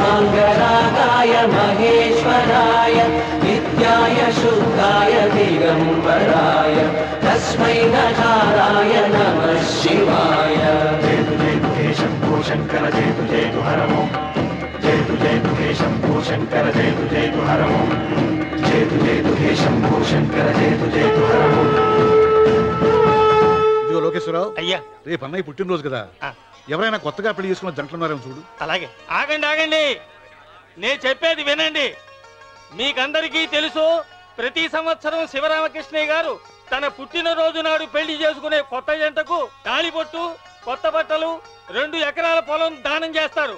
కాబట్టి రేపు ఎవరైనా పెళ్ళి చేసుకునే వాళ్ళు ఉంటే వచ్చి పేర్లు నమోదు చేసుకోండి.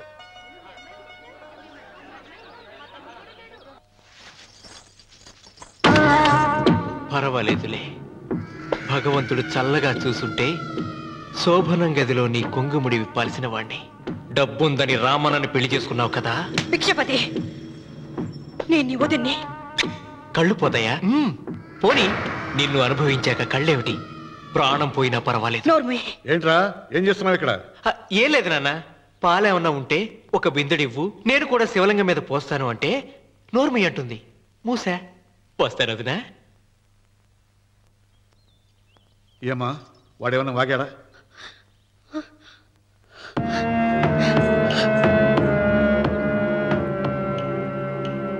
రే పిచ్చిపతి అవును. అసహ్యంగా చండాలంగా వాగాను. చంపుతావా? చంపు. మీ తాత ముత్తాతల జంతువుల్ని చంపితే నువ్వు నన్ను చంపు. చంపి నా తల కూడా గుమ్మానికి వేలాడగట్టు. ఇదిగో. పుట్టినప్పటి నుంచి సీత నా భార్య అనుకున్నాను. ఆరాధించాను. నేను తాగుబోతుని తిరుగుబోతుని లపూట్ వేదవునని చెప్పి ఆ సీతకు రామన్న చౌదరి గారికి దగ్గరుండి పెళ్ళి జరిపించావు కదా? వాళ్ళ కాపురం కూల్చే వరకు. నాకు మనశ్శాంతి ఉండదు. సీతని కట్టబెడితే పీటల మీద విషం దాకా చచ్చిపోతుందని బంగారు లాంటి రామునికిచ్చి పెళ్ళి చేయించానురా. వెంటనే నీ పద్ధతి మార్చుకోకపోతే నువ్వు తినే అన్నంలో విషం కలిపి తప్పేస్తాను రా వెధవా. వద్దు నాన్న వద్దు. ఈ చెంప దెబ్బ ఎప్పుడో కొట్టుంటే బాగుపడి ఉండేవాడిని.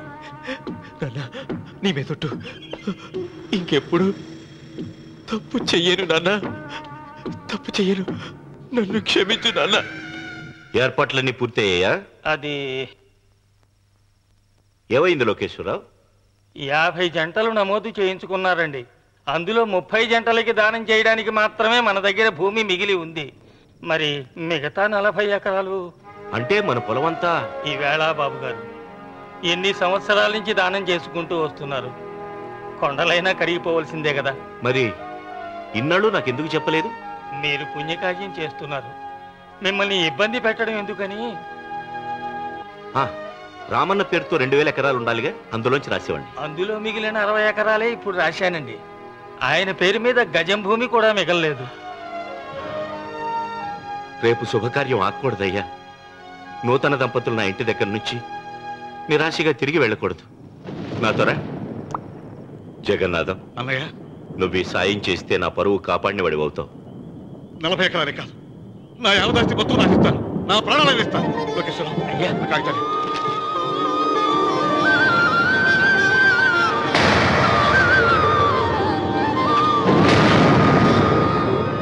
మీ కుటుంబం పది కాళ్ళ పాటు చల్లగా ఉండాలయ్యా.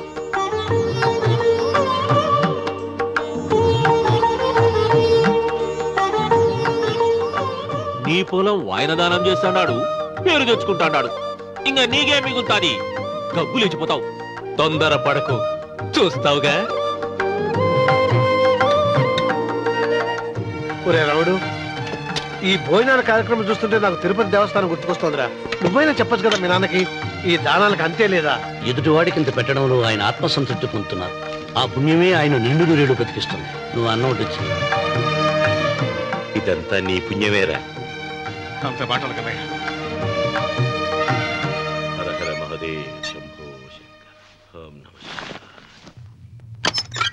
పెదనాన్న ఏం బాబు? పెదనాన్న నాన్న? ఏమిట్రా? నాన్న నోరు. ఏమిటో చెప్పరా? మా నాన్న నోరు తెరిచి నిన్ను అడగలేక నాకు దస్తావేజీలు ఇచ్చి పంపించాడు. దేనికి? మీరు మా దగ్గర తీసుకున్న పొలానికి గాను రుణపత్రం రాయించుకు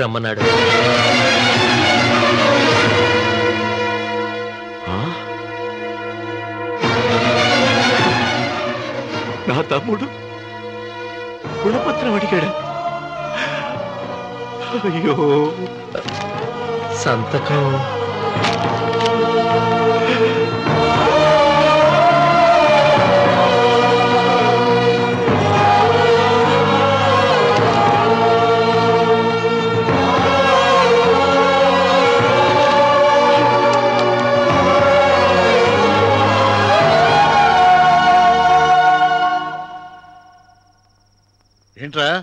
తినమేంటి?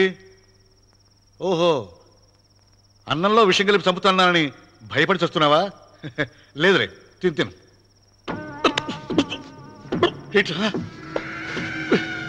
నాకేమైంది? నువ్వు అన్నంలో విషయం కలిపి నన్ను చంపుతానన్నావు కదా ఆ పాపం నీకెందుకు అంటగట్టాలి అని నేనే నా అన్నంలో విషం కలుపుకున్నాను నాన్న. పొరపాటుగా పళ్ళాలు మారాయి. నాన్న నాన్న ఎలాగో చచ్చిపోతున్నావు కదా. నీకు రహస్యం చెప్పనా? ఇంతకు ముందే మీ అన్నయ్య చేత దొంగ దస్తావేజీల మీద సంతకం పెట్టించుకున్నా. వాళ్ళని వీధిలోకి తీసుకొస్తా. నాన్న నాన్న నాన్న ఈయనతో నీకు చెప్పాక నేను ఎందుకు బతికిస్తాను నాన్న నాన్న నాన్న నాన్న చిన్నప్పుడు నీ గుండెల మీద ఆడుకుంటే తెగ ఆనందపడేవాడు కదా. పోయేటప్పుడు కూడా ఆడుకుంటా ఆనందపడే. చల్ చల్ గుర్రం చలాకి గుర్రం చల్ చల్ గుర్రం చలాకి గుర్రం చల్ చల్ గుర్రం చలాకి గుర్రం చల్ చల్. నాన్న నాన్న అయ్యో.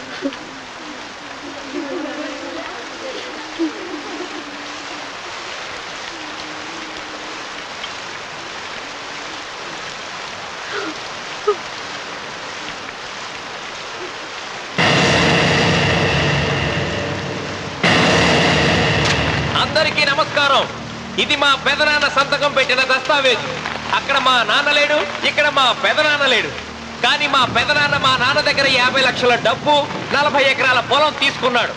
ఏ లోకేశ్వరరావు చెప్పు. అవునండి నేను సాక్షి సంతకం చేశాను.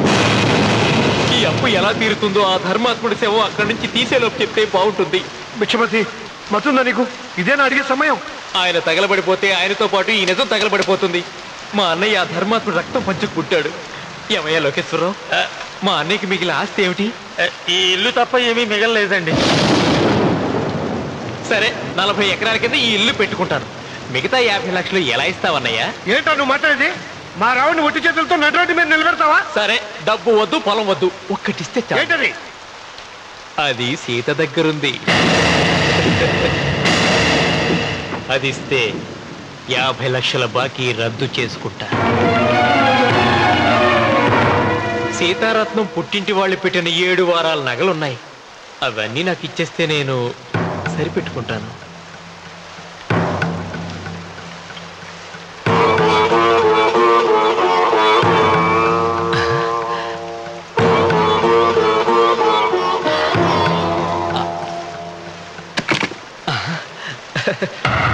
అదేమిటి?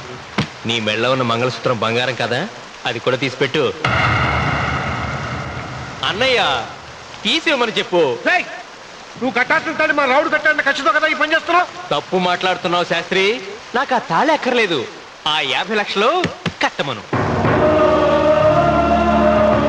మీకందరికీ చేతులెత్తి మొక్కుతున్నారు ఒక ఐదు ఇల్లాల ఐదో తనాన్ని కాపాడండి. మీకోసం తన సరస్వాన్ని మీకు దానం చేసి కొడుకును ఒట్టి చేతులతో నిలబెట్టారు మా శివరామకృష్ణ గారు. అందరూ మీరందరూ ఇంటి మూలంగా లాభం పొందిన వారే ఆ ఇల్లాను మంగళసూత్రం తీయకుండా కాపాడండి. దయచేసి మీకు కొంచెం సహాయం చేయండి. ఓయ్ పంతులు నీకేమైనా సిగ్గుండదా? కడుపుకు అన్నం తింటాడావా గడ్డి తింటాడావా దానం ఇచ్చినేటిది తిరిగి పీక్కుంటావా? నీ అమ్మాల కలుగాల పెట్ట ఊరికేనే ఇచ్చాడా? పుణ్యం కోసం ఇచ్చాడు. చచ్చాక తిరిగి ఇవ్వమంటే ఎలాగండి? ఎవడు దానం చేయమన్నాడండి? ఒళ్ళు కొవ్వెక్కి దానం చేశాడు. అన్నం పెట్టి తిన్నది కక్కమంటే ఎలాగండి? సోము తమ్ముడిది సోకేవా అన్నగారు అనుభవించారన్నమాట. ఏమిగా నిలబడి చూస్తాడారు సిగ్గు లేకుండా. ఈయనే ఉంటే మన హున్నేటి అని విక్కుంటారు. మనం వచ్చే పట్టుకొని అడుగు తినాలి.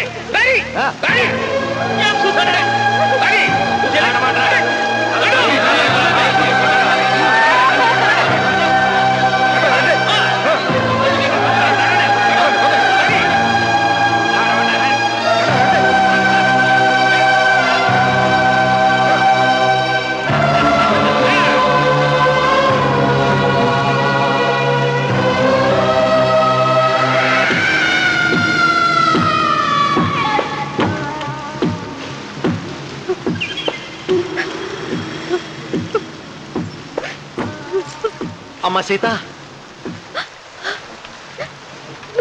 భిక్షపతి. మా వియ్యంకుడు బాకీ ఉన్న యాభై లక్షల డబ్బు నలభై ఎకరాల పొలం నీకు నేనిస్తాను. సరేనా? సరే.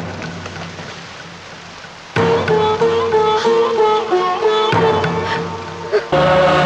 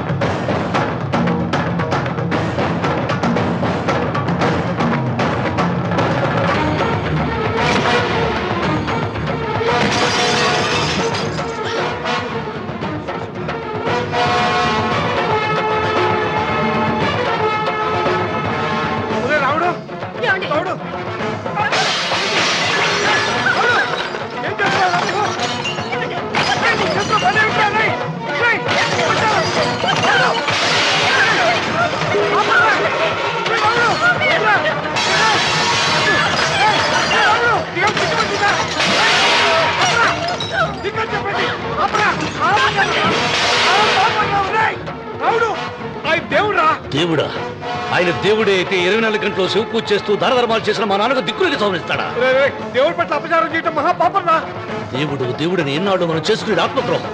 అసలు దేవుడే లేడు. దిష్టి బొమ్మలాగా నా ఇంటి ముందు ఆ శివలింగం ఉండడానికి వీల్లేదు తప్పో? చిత్ర, అటులే. మీరు ఆ శివలింగం జోలికి వెళ్తే నా ప్రాణాలు తీసేసి వెళ్ళండి.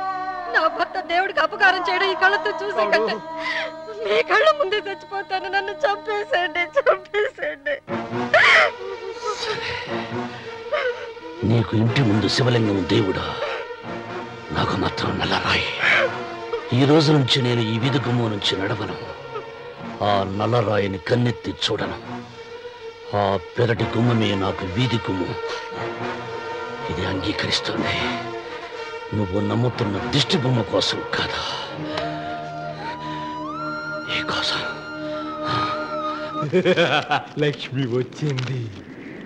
ఇంకా? భిక్షపతి గారు తీసుకున్నది నలభై ఎకరాలని మిగతాదంతా కుట్ర అని ఆ కుట్రలో నాకు భాగస్వామ్యం ఉందని రామన్న గారికి తెలిస్తే నన్ను చంపేస్తారండి. డబ్బు చూసేసరికి ఆశ పుట్టిందా? ఇదిగో ఈ సంగతి ఎవరికైనా చెప్పావో? కోసేస్తా. భిక్షపతి నువ్వు నాశనం అయిపోతావురా నాశనం అయిపోతావు.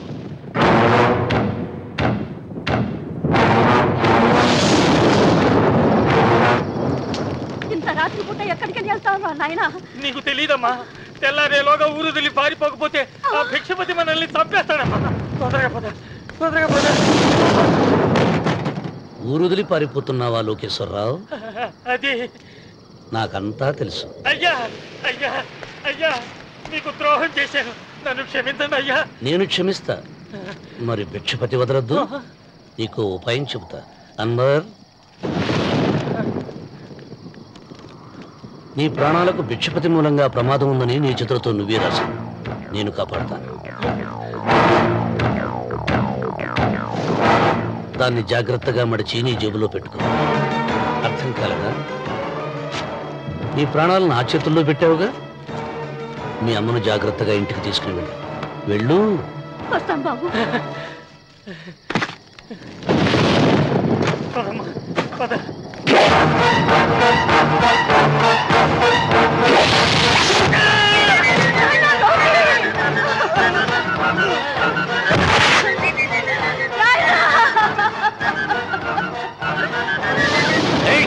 ఎడవకో ఎడవకో కన్నీళ్ళు పెట్టేంత గొప్ప చరిత్ర కలిగిన వాడు కాదే నీ కొడుకు. అన్నం పెట్టిన మా నాన్న చావు కారణమైన వాడు నీ కొడుకును పెచ్చిపత చంపాడని పోలీసులకు చెప్పాలి. అప్పుడే బ్రతికినంత కాలం నీకు నీ మనవరాలకి ప్రాణభిక్ష పెడతాను లేకపోతే అలాగే బాబు. అన్వార్ అయ్యా వీడి శవాన్ని తీసుకెళ్ళి భిక్షపతి ఇంటి ముందు పడే ఒరే రావుడు నువ్వు శ్రీరామచంద్రుడు లాంటి వాడిరా ఇలాంటి హత్యలు చే మా నాన్న పెట్టిన పేరు రామన్న. కానీ ఈ రోజు నుంచి నా పేరు రావణ. ఆయన మూలంగా దానాలు పొంది భూదానాలు పొంది అన్నదానాలు పొంది ఆయన కన్ను మూసిన రోజు.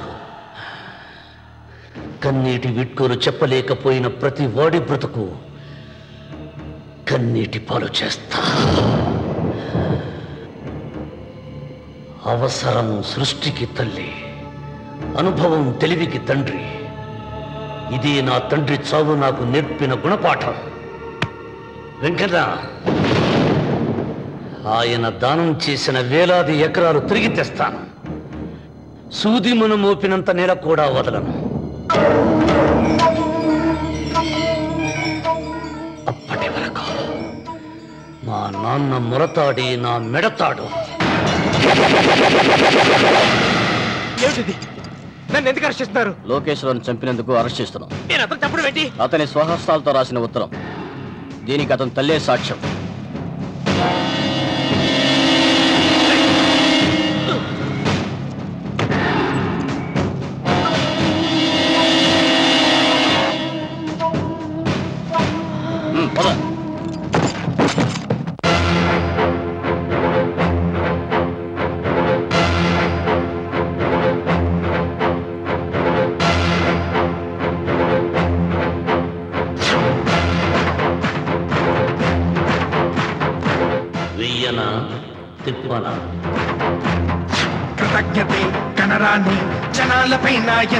ఎందుకు రాజాలి.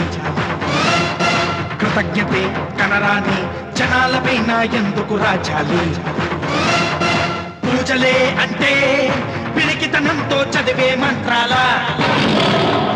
దేవతలంటే ఎవరు? చేసిన పూజలు గుర్తులేని రాళ్ళ. పాపం పుణ్యం ఇక నుండి పాదరక్షలుగా తొక్కేసై మంచి మమత మానవత్వమా చించవ తలబారై అసాధ్యాలను సాధ్యం చేసే నువ్వే రాయల సీమకు రాజు. రామన్న రామన్న రాయల సీమ రామన్న చౌదరి. రామన్న రామన్న రాయల సీమ రామన్న చౌదరి.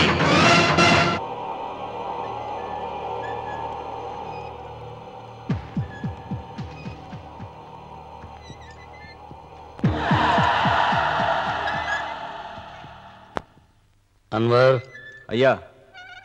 వంద మంది పనివాళ్ళను ఒక బుల్డోజర్ను ఆలయం దగ్గర తీసుకురా. దాన్ని పడగొట్టించాలి.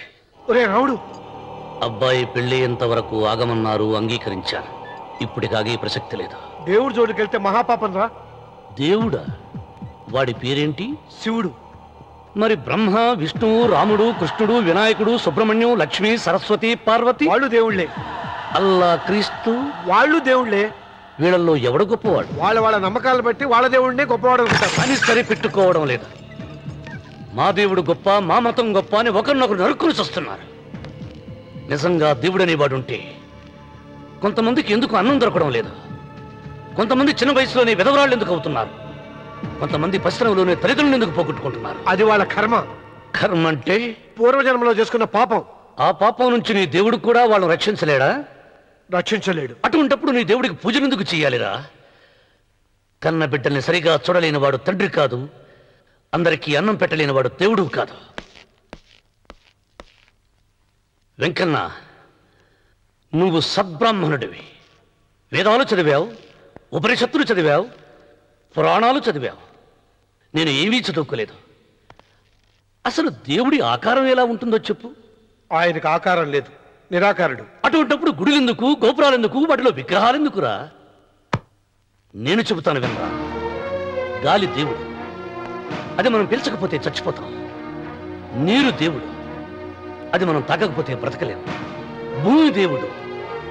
అది లేకపోతే మనకు అన్నం దొరకదు. అమ్మ నాన్న దేవుడు.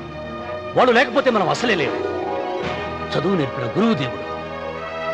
కష్టంలో నష్టంలో సుఖంలో దుఃఖంలో దగ్గరుండి స్నేహితుడు. స్నేహితుడు అంటే నువ్వు నాకు దేవుడివి. నీకు మొక్కుతాను రా అంతేగాని ఆ నల్ల రాళ్ళకి రెపరెక్కి కాదు అంటే గుడి మెట్లకి మొక్కే వాళ్ళంతా మురుగులా నైవేద్యం పెట్టి నమస్కారాలు చేసే వాళ్ళంతా పిచ్చివాళ్ళ? గుండు గీయించుకుని పొర్లు దండాలు పెట్టేవాళ్ళంతా అమాయకులా? అవును. ఒక గుడి చూపించి ఆ గుడిలో దేవుడు వరాలు ఇవ్వడు అని చెప్పు. ఆ గుడి మెట్లలో ఒక్క మెట్టు ఒక్క మెట్టు కూడా ఎవడో ఎక్కడ? నైవేద్యం పెడతారన్నావు కదూ? ఎందుకో తెలుసా? పెట్టిన క్షీరాన్నాలు దద్దోజనాలు పులిహోరాలు మనం మెక్కుతామని తెలిసి అదే దేవుడు తింటాడని తెలిస్తే శనగ చెక్క ఒక బెల్లపు ముక్క కూడా వెంట్రుకలు ఇస్తారన్నావు కదూ? దేనికి? మళ్ళీ ములుస్తాయన్న ధైర్యంతో గుండు గుట్టించుకున్నాక జన్మలో ఒక్క వెంట్రుక కూడా మొలవదు అని చెప్పు ఒక్కడు ఒక్కడు కూడా గుండు గుట్టించుకోడు. ఒరే రావుడు గీతలో శ్రీకృష్ణుడు ఏం చెప్పాడో తెలుసా? చిచి పదహారు వేల మంది గోపికలతో సరసం ఎనిమిది మంది పెళ్ళాలతో కాపురం చేసిన కృష్ణుడు ఎలా వేల్పు? వాడు చెప్పిన గీత మన తల రాత. వెంకన్న నా దృష్టిలో భగవంతుని పూజించే వాళ్ళు రెండు రకాలు. భయంతో పూజలు చేసేవాళ్ళు ఆశతో ముక్కేవాళ్ళు. పాపం చేశాం ఆయనకు దండం పెట్టి చేసిన పాపాన్ని ఏదో ఒక రూపంలో హుండీలో వేసేద్దాం అనుకునే వాళ్ళు మొదటి రకం. మొక్కితే ఏదో దక్కుతుందని ఆశపడే వాళ్ళు రెండో రకం. నా భూమి నేను సొంతం చేసుకున్నాను కాబట్టి అది పాపం కాదా? భయం లేదు.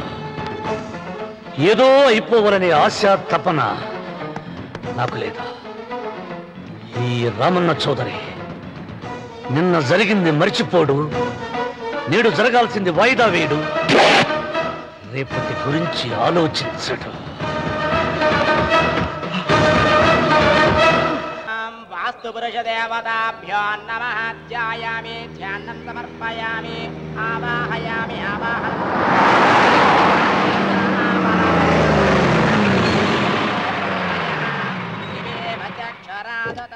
రండి రామన్న చౌదరి గారు. నా పేరు వెంకట్రావు నేను సివిల్ ఇంజనీర్ని. మీరు ఎంతో గొప్ప మనసుతో బోల్డ్ అంత పొలం పోగొట్టుకుని ఆరు మైళ్ళ రోడ్డు వేద్దాం అనుకున్నారు. కానీ ఇప్పుడు మీ పొలంతో అవసరం లేకుండా గవర్నమెంటే రోడ్డు శాంక్షన్ చేసింది. ఆ ఆలయం కూడా పడగొట్టక్కర్లేదండి. చెరువు గడ్డంగా వంతెన నిర్మిస్తున్నారు. రెండు మైళ్ళ దూరం కూడా తగ్గుతుంది.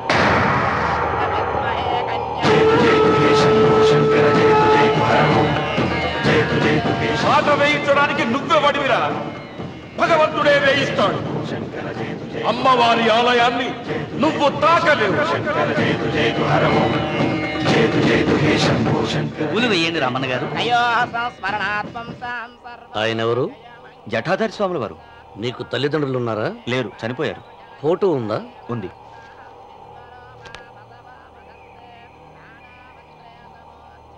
తల్లిదండ్రులను పూజించు బాగుపడతావు. జడలు మీసాలు ఉన్నవాళ్ళు కాదు.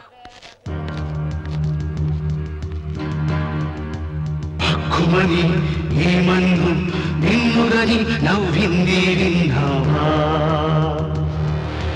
హక్కుమని ఏమన్ను నిన్నుగని నవ్వింది విన్నావా దేనికి నీవు శాసనకర్తవు కావని తెలిసిందా? నేను నాదంటూ పలికిన మూర్ఖులు భూమిలో మిగిలారా?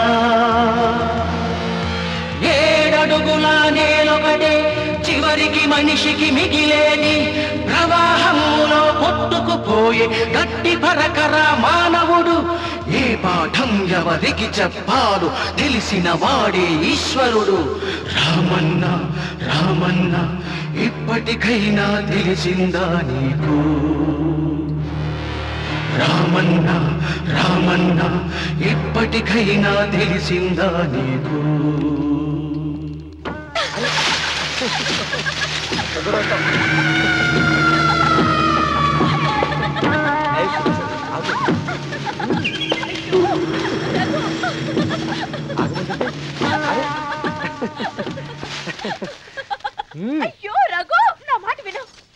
ఏంటి సులోచన ఇది?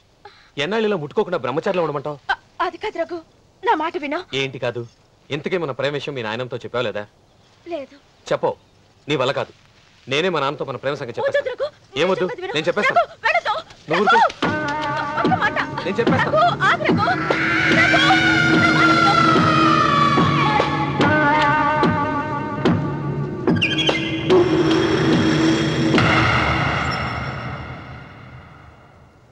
నువ్వా నేనే. ఎందుకొచ్చావు? నువ్వు మా నాన్నని చెప్పిన రాక్షసుడివి? అంటావు. వెంటనే వెళ్ళకపోతే నిన్ను చంపేస్తాను? అంటావు. కదమ్మా.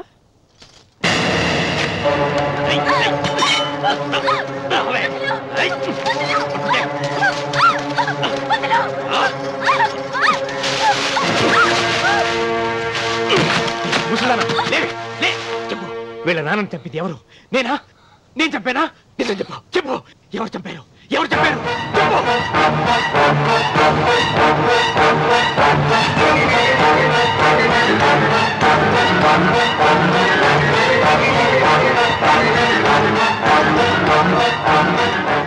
ఇన్నాళ్ళు ఈ నిజం ఎందుకు చెప్పలేదు? నీ ప్రాణం కాపాడడానికి. నీకు నిజం తెలిస్తే నిన్ను చంపేస్తాడేమోనని భయంతో నీకు చెప్పుండదు పాపానికి ప్రాయచిత్తం కావాలమ్మా. దానికి మార్గం నేను చెప్తాను. మనం ప్రతీకారం తీర్చుకోవాలి. నీకు రఘు దక్కేలా నేను చేస్తాను. నీ తండ్రి చావుకి పగ తీరేలా చేస్తాను. ఆలోచించు.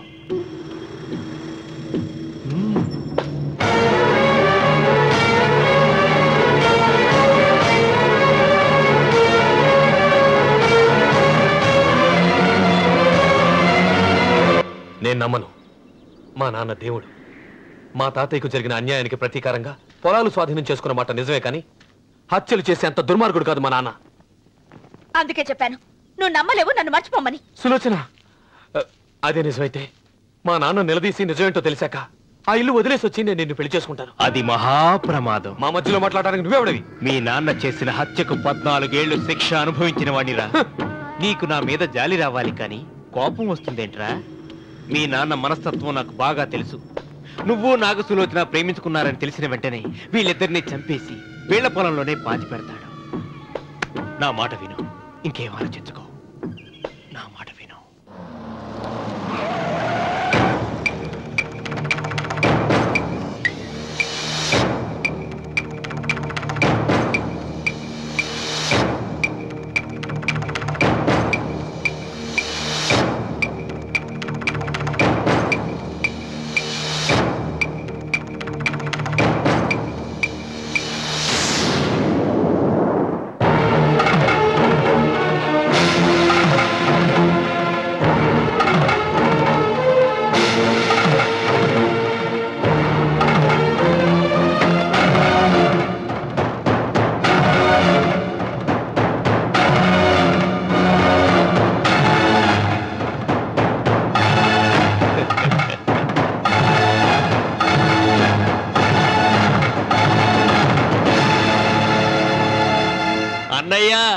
నమస్కారం. వీధి గుమ్మం వైపుకైతే నువ్వు రావని పెరటి గుమ్మం వైపుకు నేనే తీసుకుని వచ్చాను. మీ నాన్న ఇచ్చే ముష్టి డబ్బుతో బ్రతికి నాగసులోచనని ప్రేమించావు. మీ నాన్న ఈ పెళ్ళికి ఒప్పుకోడు కదరా అన్నాను. లేచిపోతాం అన్నాడు.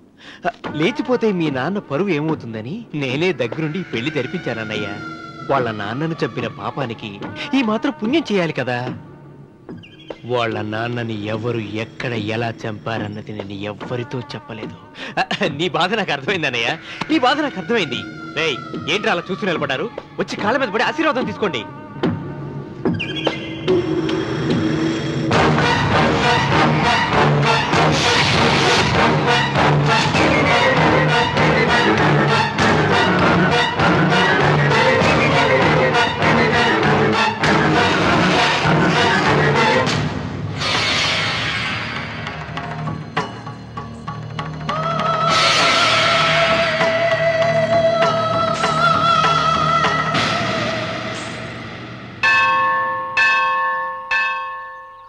అమ్మా వంద ఎకరాల ఆశావినని చెప్పినందుకు ముప్పి డెబ్బై అనే పిల్లని పరిచయం చేసి పెద్ద శిక్ష చేసావు తల్లి. తప్పైపోయిందమ్మా. క్షమించే తల్లి ఈసారి అలా చేయను. మంచి పిల్లనిచ్చి పెళ్ళి చేయమ్మా. అలాగేనా?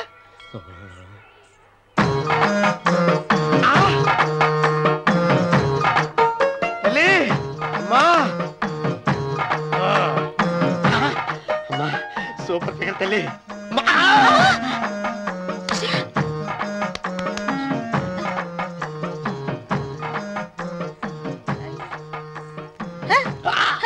నాకింకా పెళ్ళి కాలేదు తల్లి. వంద ఎకరాల మాగానే ఉంది. యాభై ఎకరాల కొబ్బరి తోట ఉంది. కానీ పెళ్ళం లేదు. పెళ్ళిళ్ళ సీజన్ అయిపోతుంది. మంచి పిల్లని చూపెట్టి పుణ్యం కట్టుకో తల్లి. నాకు కూడా పెళ్ళి కాలేదు తల్లి. నేను నీకు పురాతన భక్తురాలిని కదా. ఏడు అంతస్తుల మేడనిచ్చావు ఏడు వరాలు నగలిచ్చావు. కానీ మొగుడు లేడు? మొగుడు లేడా? తొలి ప్రేమ మీద నీకు నమ్మకం ఉందా పట్టు చీరా? మలి ప్రేమ మీద నీకు నమ్మకం ఉందా సిలుకు లాల్చి? ఉంది ఏడంతస్తుల మేడ. నేను నీకు నచ్చానా వందేకరాల నువ్వు తప్ప ఎవ్వరూ నచ్చరు. వచ్చే మంగళవారం నా ఇంటికి ఒకసారి రండి. నన్ను చూసుకోవడానికి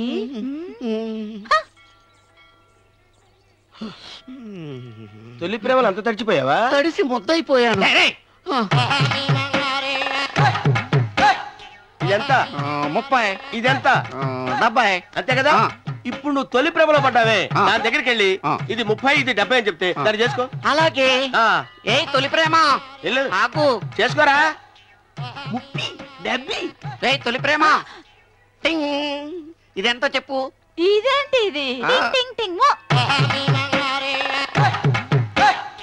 ఇదెంత? ఇదంతా ఎందుకండి? ఎందుకంటే ఇదెంతో నువ్వు చెప్తేనే మన పెళ్ళి అందుకు చెప్పు. అది అది ముప్పి. అది డిప్పి ఒరే గుంటనక వస్తున్నాను ఉంటారా అచి సాచినోడా నాకు వచ్చిన సంబంధాన్ని చెరగొడతావా? నన్నే కొడతావా? అమ్మా నన్నే కొడతావా. చూడు నువ్వు చేసింది తప్పో నేను చేసింది తప్పో మా చిన్నమ్మ గారిని అడుగుతాను. ఈ విషయం అచ్చనే కానీ చెప్తానే?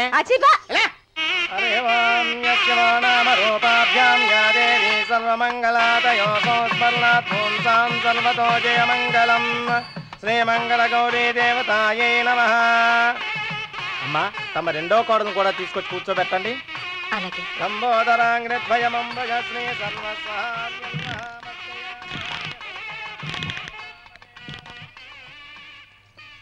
ఏంటమ్మా? ఇంకా అలాగే ఉన్నావు? నువ్వు ఈ పూజకి ఏర్పాటు చేయమంటేనేగా మీ మామగారికి ఇష్టం లేకపోయినా ఒప్పించాను. అందరూ వచ్చేసారు. చీర మార్చుకుంటా. నాకున్న చీరల్లో ఇదే మంచిది. నా దగ్గర పట్టు చీరను తీసుకో. మీరు కట్టి విడిచిందా? లేదమ్మా కొత్త పట్టు చీర ఉంది. వద్దులేండి. పోనీ నగలైనా పెట్టుకోమా? మీరు పెట్టుకోక మిగిలినవా? కాదమ్మా నా దగ్గర ఏడు వారాల నగలున్నాయి దేవుళ్ళకి కావాల్సింది చీరలు నగలు కాదు. భక్తి. వస్తున్నాను పదండి.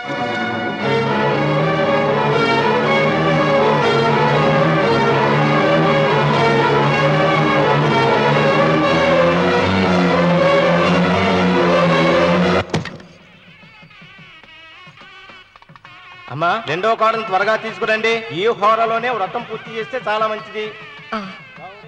రఘు ఇట్రా. ఏంటమ్మా? వెళ్ళి సులోచన త్వరగా తీసురా. అలాగే.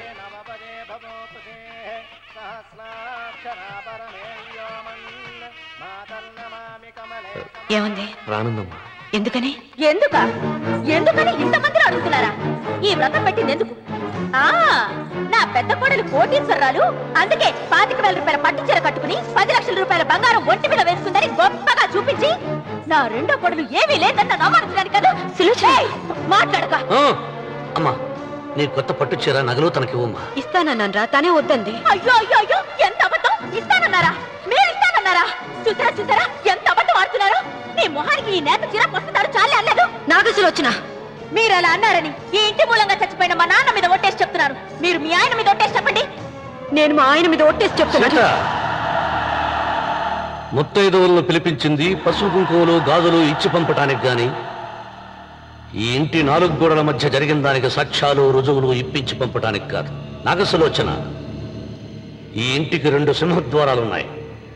దేవుడిని ప్రేమించే వాళ్ళకు ఒక గుమ్మం దేవుడిని ద్వేషించే వాళ్ళకు రెండో గుమ్మం. నీ ఇష్టం వచ్చిన గుమ్మం వైపు నువ్వు వెళ్ళవచ్చు.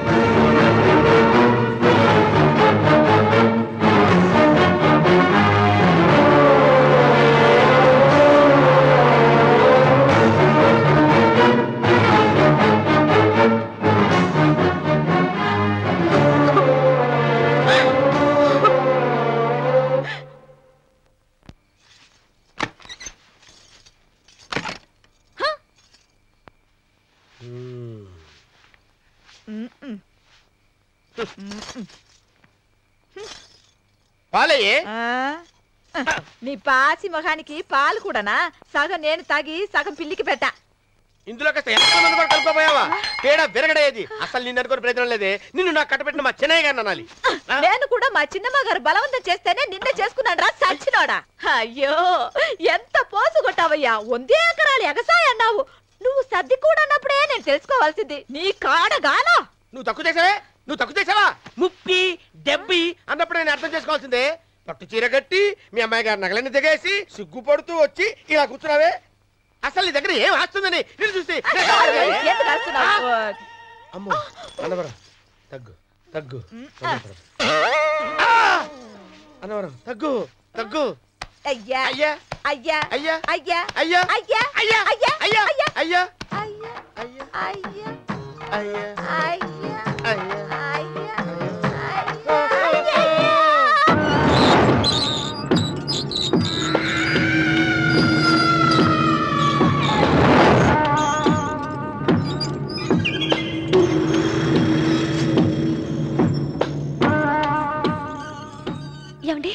చూడండి.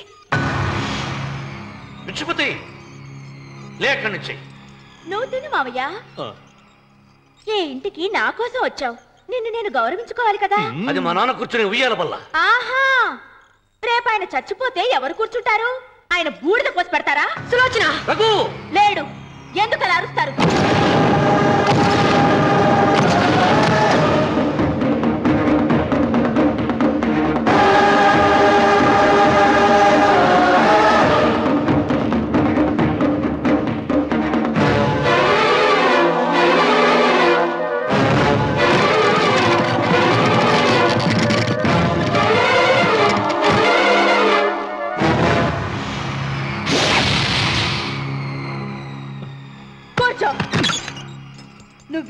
బల్ల మించి లేచావంటే నన్ను చంపుకు తిన్నట్టే. అన్వర్.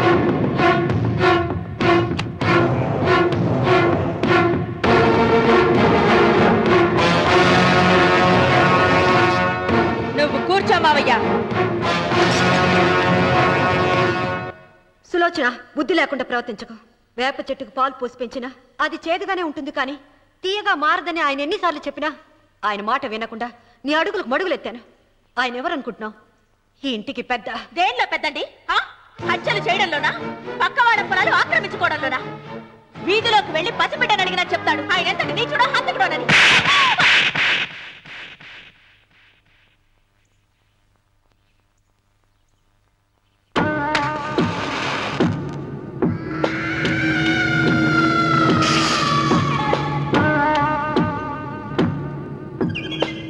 అమ్మా నువ్వెన్నైనా చెప్పు. నా భార్య మీద చేయి చేసుకోవడం నేను సహించలేను. రఘు అన్నయ్య నీ భార్య మీద చేయి చేసుకోవడం తప్పే. కానీ దానికోసం వాటాలు పంచమని చెప్పడం న్యాయం కాదురా. నాన్న అన్నయ్యని కూడా తన వాట తీసుకుని వెళ్ళిపోమంటున్నారు. కావాలంటే నేను నీ భార్య కాళ్ళు పట్టుకుని క్షమాపణ చెప్తాను నేను వంద సార్లు మీ కాళ్ళు పట్టుకుంటాను. మా బతికేదో మమ్మల్ని బతకనివ్వండి. ఏంటి నించున్నారు రండి అక్కడ ఎదురు చూస్తున్నారు. చేసినంత చేసి కాళ్ళు పట్టుకుంటుందట మహాతల్లి. నీ కన్నీళ్ళకు రాళ్ళు కరుగుతాయి గాని కన్నవాళ్ళు కరగరు సీత. సీత వాళ్ళు చిన్నపిల్లలుగా ఉండేటప్పుడు ఎంత సంతోషంగా ఉండేవాళ్ళం. వాళ్ళు పెరుగుతుంటే ఆ సంతోషం తరిగిపోతూ ఉంటుంది. వాళ్ళు మన భుజం దాటి పెరిగాక ఇక గడప దాటి ఎప్పుడు వెళ్ళిపోతారా అని ఎదురు చూడటమే మన పని.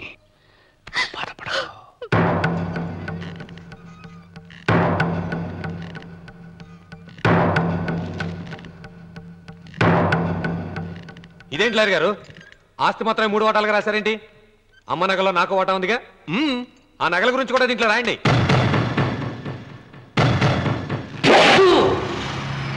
అది మీ తాత పిత్రార్జితం కాదు నా స్వర్జితం కాదు. నా భార్య స్త్రీధనం. అందులో వాటా ఎవరికి రాదు లేదు. ఓహో! అమ్మ గదిలోకి వచ్చి నా మీద ప్రేమ అనుకున్నాను నగలివ్వాలని ఏడుపా. ఈ ఏడుపేదో నన్ను కనక ముందు ఏడవాలి.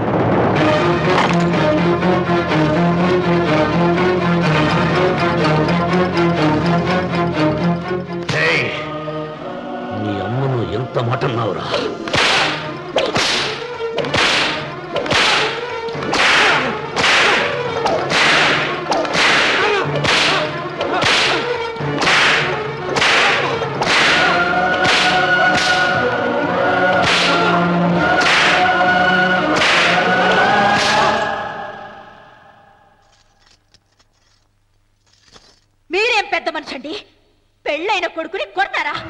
ఆస్తి ఇవ్వడం ఇష్టం లేకపోతే ఇష్టం లేదు అని చెప్పండి.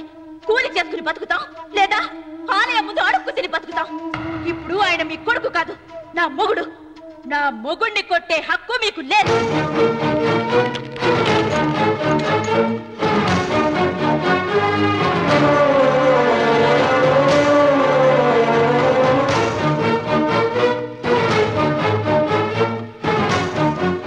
రఘు నీకు కావాల్సింది ఈ నగలేగా? తీసుకొచ్చాను. తీసుకోరా. వద్దమ్మా వద్దు. కాదన్నయ్య. వద్దమ్మా నా మాట విను. ఒక తల్లి కడుపున పుట్టకపోయినా నన్ను అన్నయ్య అని పిలిచావు నా ఇల్లు నీకు పుట్టిల్లమ్మా. ఆడపడుచు బతుకుండగా పుట్టిన నగలు పంచడం శుభం కాదమ్మా. శుభం కాదు. రే రఘు ఆ నగలి బదులుగా నా పొలం నా ఇంట్లో ఉన్న బంగారం అంతా నీకు ఇచ్చేస్తాను. తీసుకెళ్ళిపోరా. అలాగే. లాయర్ గారు అవి కూడా రాయండి.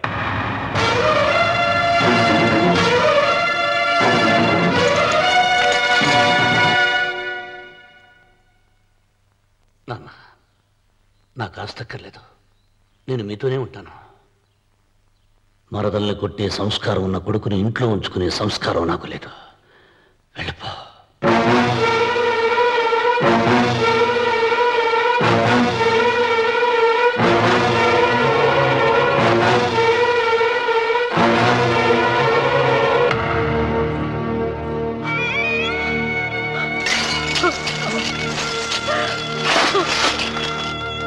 సీతమ్మ! అమ్మ సీతమ్మ! సీతమ్మ! ఒరే రావుడు! నాకేదో భయంగా ఉందిరా. ఆ దేవుడి శాపం తగిలింది. లేకపోతే నీ కుటుంబం ఇలా ముక్కలైపోవటం ఏమిటి నా మాట విను. వెళ్ళు. ఆ శివలింగాన్ని తిరిగి తీసుకొచ్చి యథాస్థానంలో ప్రతిష్ఠించరా. ఆ.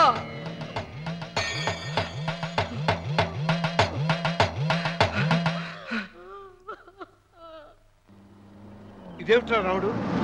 శివలింగాన్ని తీసుకొస్తానని బయలుదేరి ఆలయం దగ్గర తీసుకొచ్చావేంటి?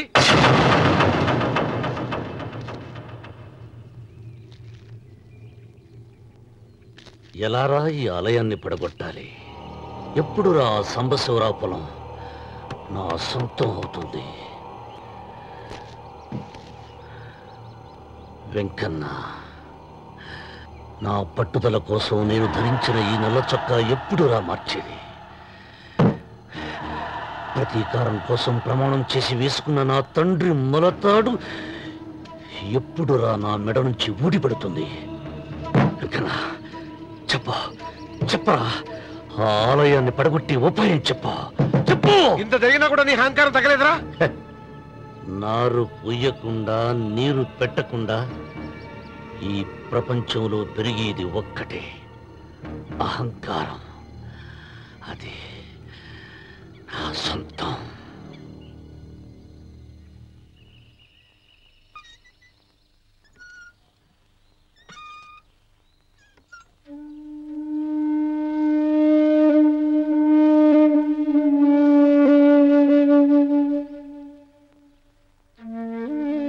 పిల్లలు వెళ్ళిపోయారు కోడళ్ళు వెళ్ళిపోయారు వచ్చే రాఖీ పండగ నాటికి ఇది కట్టడానికి. నేను కూడా ఉండకుండా వెళ్ళిపోతానేమో. అవే మాటలమ్మా. నువ్వు నిండు నూరేళ్ళు బతకాలమ్మా. పదిహేను రోజులు కూడా పిల్లలు లేకుండా బతకలేకపోతున్నదని. నూరేళ్ళు ఎలా బ్రతకగలనన్నయ్య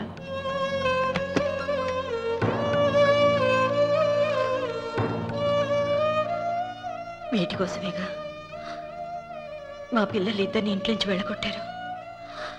నేను చనిపోయాక మా ఇద్దరు కోడలికి సమానంగా పంచిపెట్టమని చెప్పు. ఇప్పుడు ఎందుకమ్మా అదంతా? అసలే నీ ఆరోగ్యం బాగలేదు. నన్నెప్పుడూ నిండు ముత్తైదుగా చూడాలనేది ఆయన కోరిక. పోయే ముందు ఒక్కసారి నిండుగా అలంకరించుకోవాలని ఉందన్నయ్య.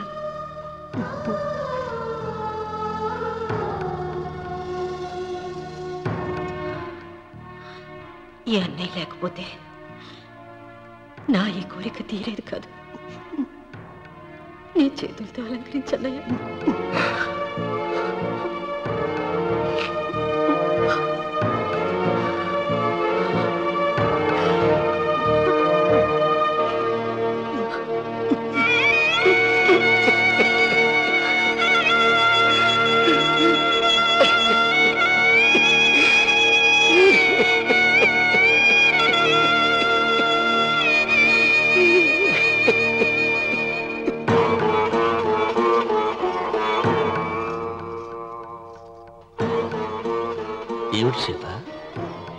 వడ్డానం పట్టట్లేదు? సరిగ్గా పెట్టండి. పేరంటానికా? భర్త ముందు అలంకరించుకుని కూర్చోవడం కంటే ఆడదానికి వేరే పేరంటే ఉంటుంది చెప్పండి. ఏమండి? మీరు ఉత్తమ జాతి స్త్రీ రెండో కోరిక కోరదు అన్నారు. అందుకే మిమ్మల్ని అడగలేకపోయాను. కానీ చనిపోయే ముందు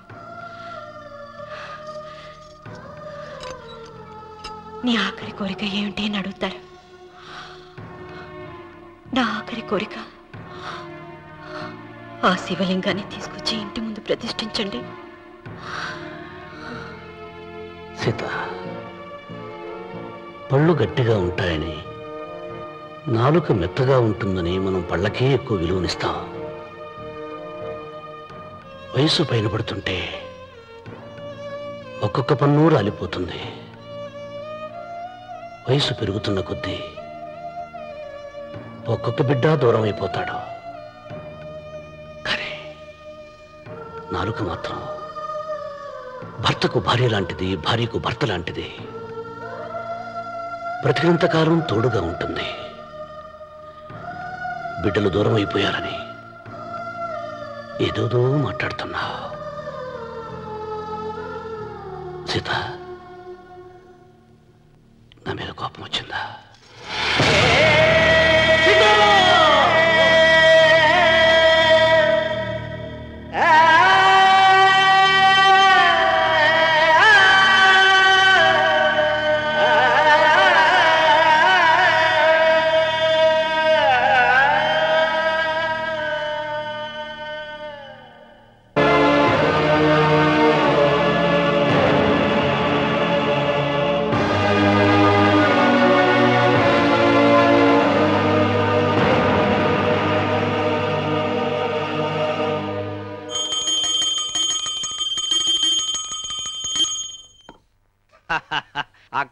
రామన్న చౌదరి చచ్చిన పేళానికి దీపం వెలిగించాడు.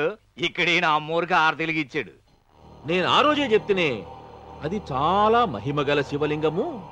దాని జోలికి పోతే సర్వనాశనమైపోతాడని పిల్లలేమైనారు? ఇల్లు వదిలిపోయినారు. పెండ్లాము లోకం ఏడ్చిపాయ. ఇక రావణ చౌదరితో పాటు ఆయన వంశం కూడా గబ్బు లేచిపోతాడు ఒకవేళ భయపడి ఆ శివలింగం మళ్ళీ యథాస్థానంలో పెడతాడేమో? పెట్టడు. పెట్టాలని ప్రయత్నిస్తే ఎట్లా ఆపాలనో? మనం చూసుకుందాం.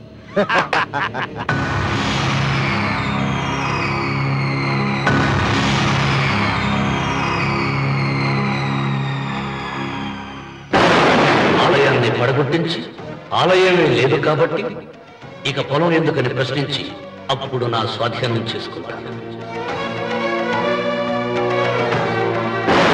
అమ్మవారి ఆలయాన్ని నువ్వు తాకలేవు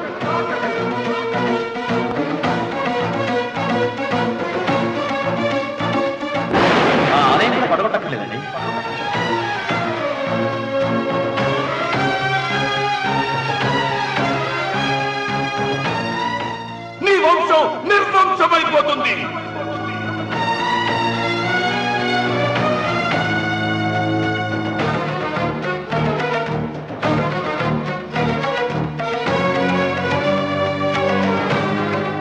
ఆ శివలింగాన్ని తీసుకొచ్చి ఇంటి ముందు ప్రతిష్ఠించండి.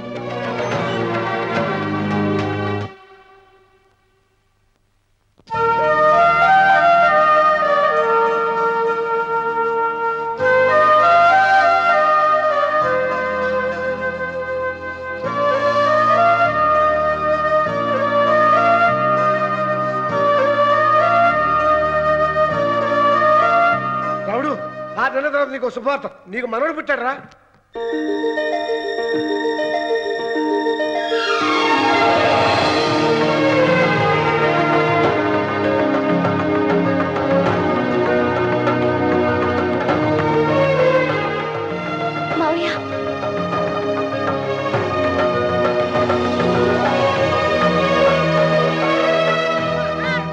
నా వంశం నిర్వంశమైపోతుందని జటాధారి శపించిన ఎదిరించి నా ఇంట పుట్టిన మొదటి వంశాంకురం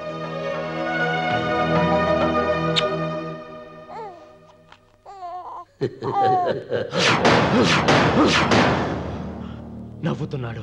ఆ రమణ నవ్వుతున్నాడు. మళ్ళీ నవ్వుతున్నాడు. వాడు నవ్వుతున్నాడు. వారసుని పుట్టాడని హాయిగా నవ్వుతున్నాడు. వాడి ముఖంలో ఆనందం కనిపిస్తే నీ జీవితంలో నిప్పులు పోసుకున్నట్టే. తెలుసా? నా అనుమానం. మూడో వాట కింద తను ఉంచుకున్న ఆస్తి అంతస్తు నగలు అన్ని అన్ని అన్ని ఆ పెట్టి రాసిస్తాడు. తెలుసా? మొన్న డాక్టర్ పరీక్షించి ఏం చెప్పింది నీకు? పిల్లలు పుట్టే అవకాశం చాలా తక్కువగా ఉంది అని చెప్పలేదు? చెప్పు!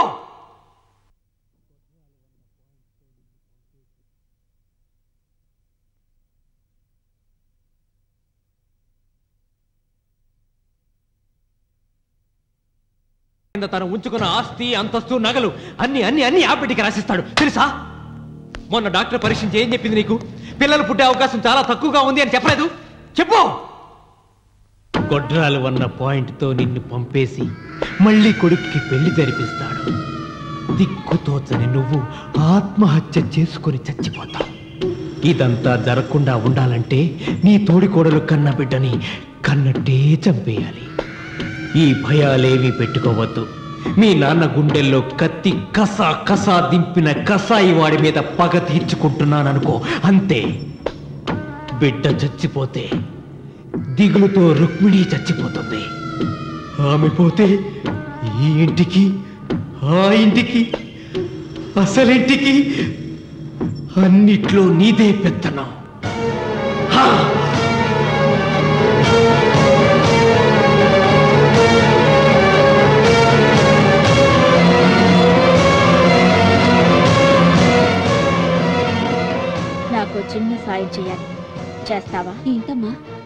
బిడ్డకి పాలల్లో విషం కలపాలి. అయ్యో నేను నడతాను కాదమ్మా.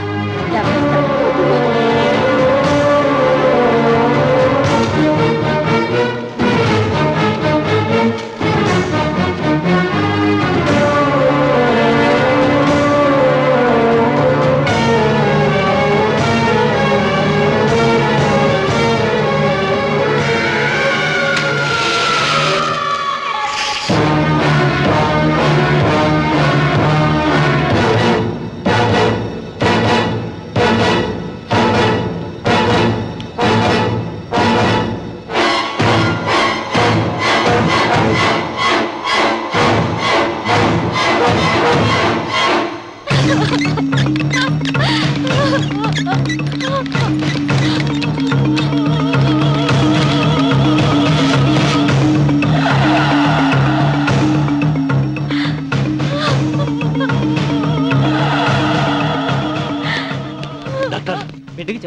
పట్టించారు పాలు తాగించాం. పాలలో విషయం కలిసింది.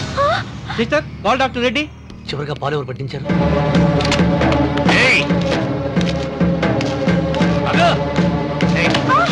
పాలలో ఏం కలిపావు? నాకేం తెలియదు బాబు. నిజం చెప్పు. చెప్పదు బాబు. మీ మరదలే డబ్బిచ్చి బాబుకు పాలలో విషం కలపమని చెప్పింది.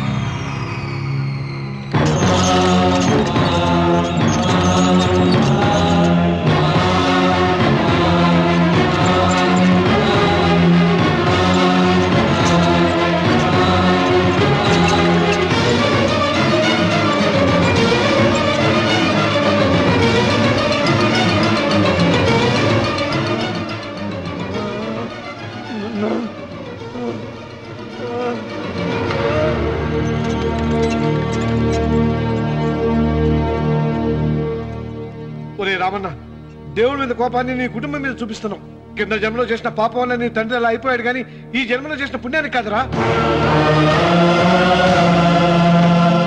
దేవుణ్ణి చూపించు దేవుణ్ణి చూపించు అన్నావు. నీ కనుపాపంతో ఉన్న సూర్యుడినే కన్నెత్తి చూడలేని వాడివి. అసలు దేవుణ్ణి ఎక్కడ చూడగలవరా? రామన్న శాపాన్ని ఎదిరించి పుట్టాడని గర్వపడిన నీ మనవడు ఇప్పుడు చావు బతుకుల్లో ఉన్నాడు రా గాయపడిన నీ రెండో కొడుకు ఇక్కడ చచ్చిపోతే నీ పెద్ద కొడుకుని ఉరి తీస్తారా? కొడుకుల్ని కోడల్ని మనవణ్ణి భార్యని అందరినీ పోగొట్టుకుని నువ్వు ఒక్కడమే బతికి సాధించేదేమిట్రా?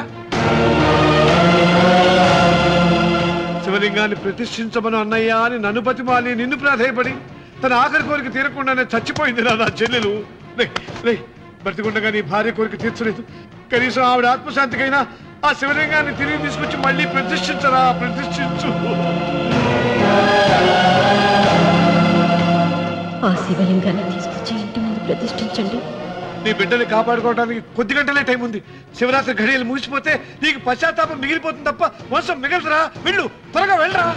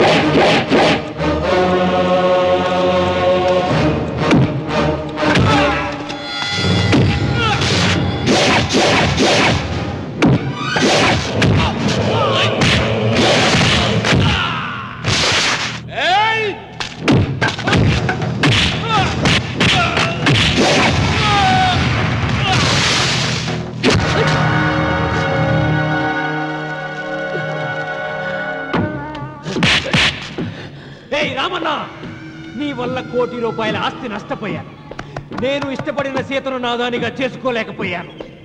నిన్ను నీ వల్ల పద్నాలుగేళ్ళు శిక్ష అనుభవించాను రా.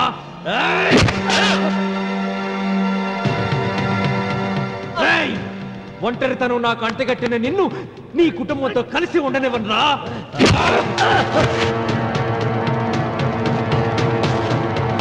నిన్ను చంపి నా పగ తీర్చుకుంటాను రా.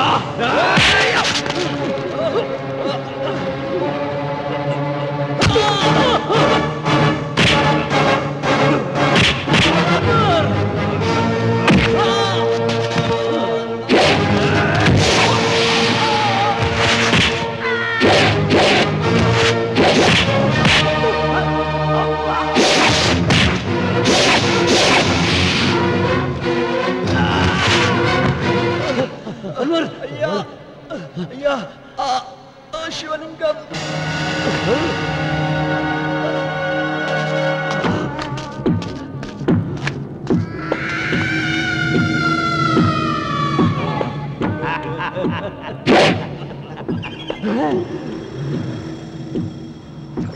ఏయ్ రాయలసీమ రామన్న చౌదరి ఇప్పుడు చూస్తా నిన్ను ఏ దేవుడు కాపాడతాడో.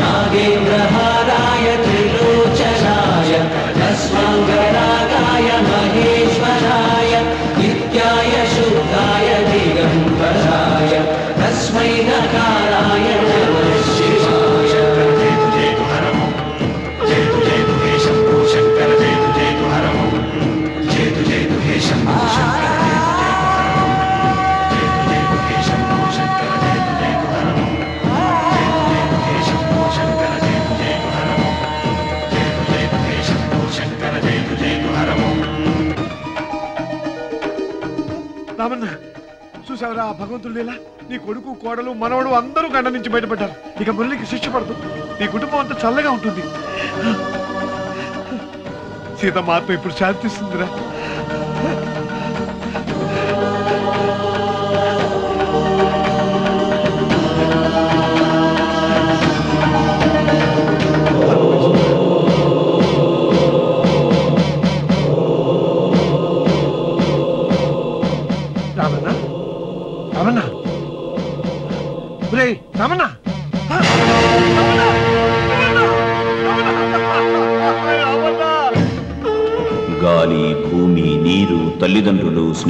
మాత్రమే దేవుళ్ళని ఇన్నాళ్ళు అపార్థం చేసుకున్న రామన్న చౌదరి.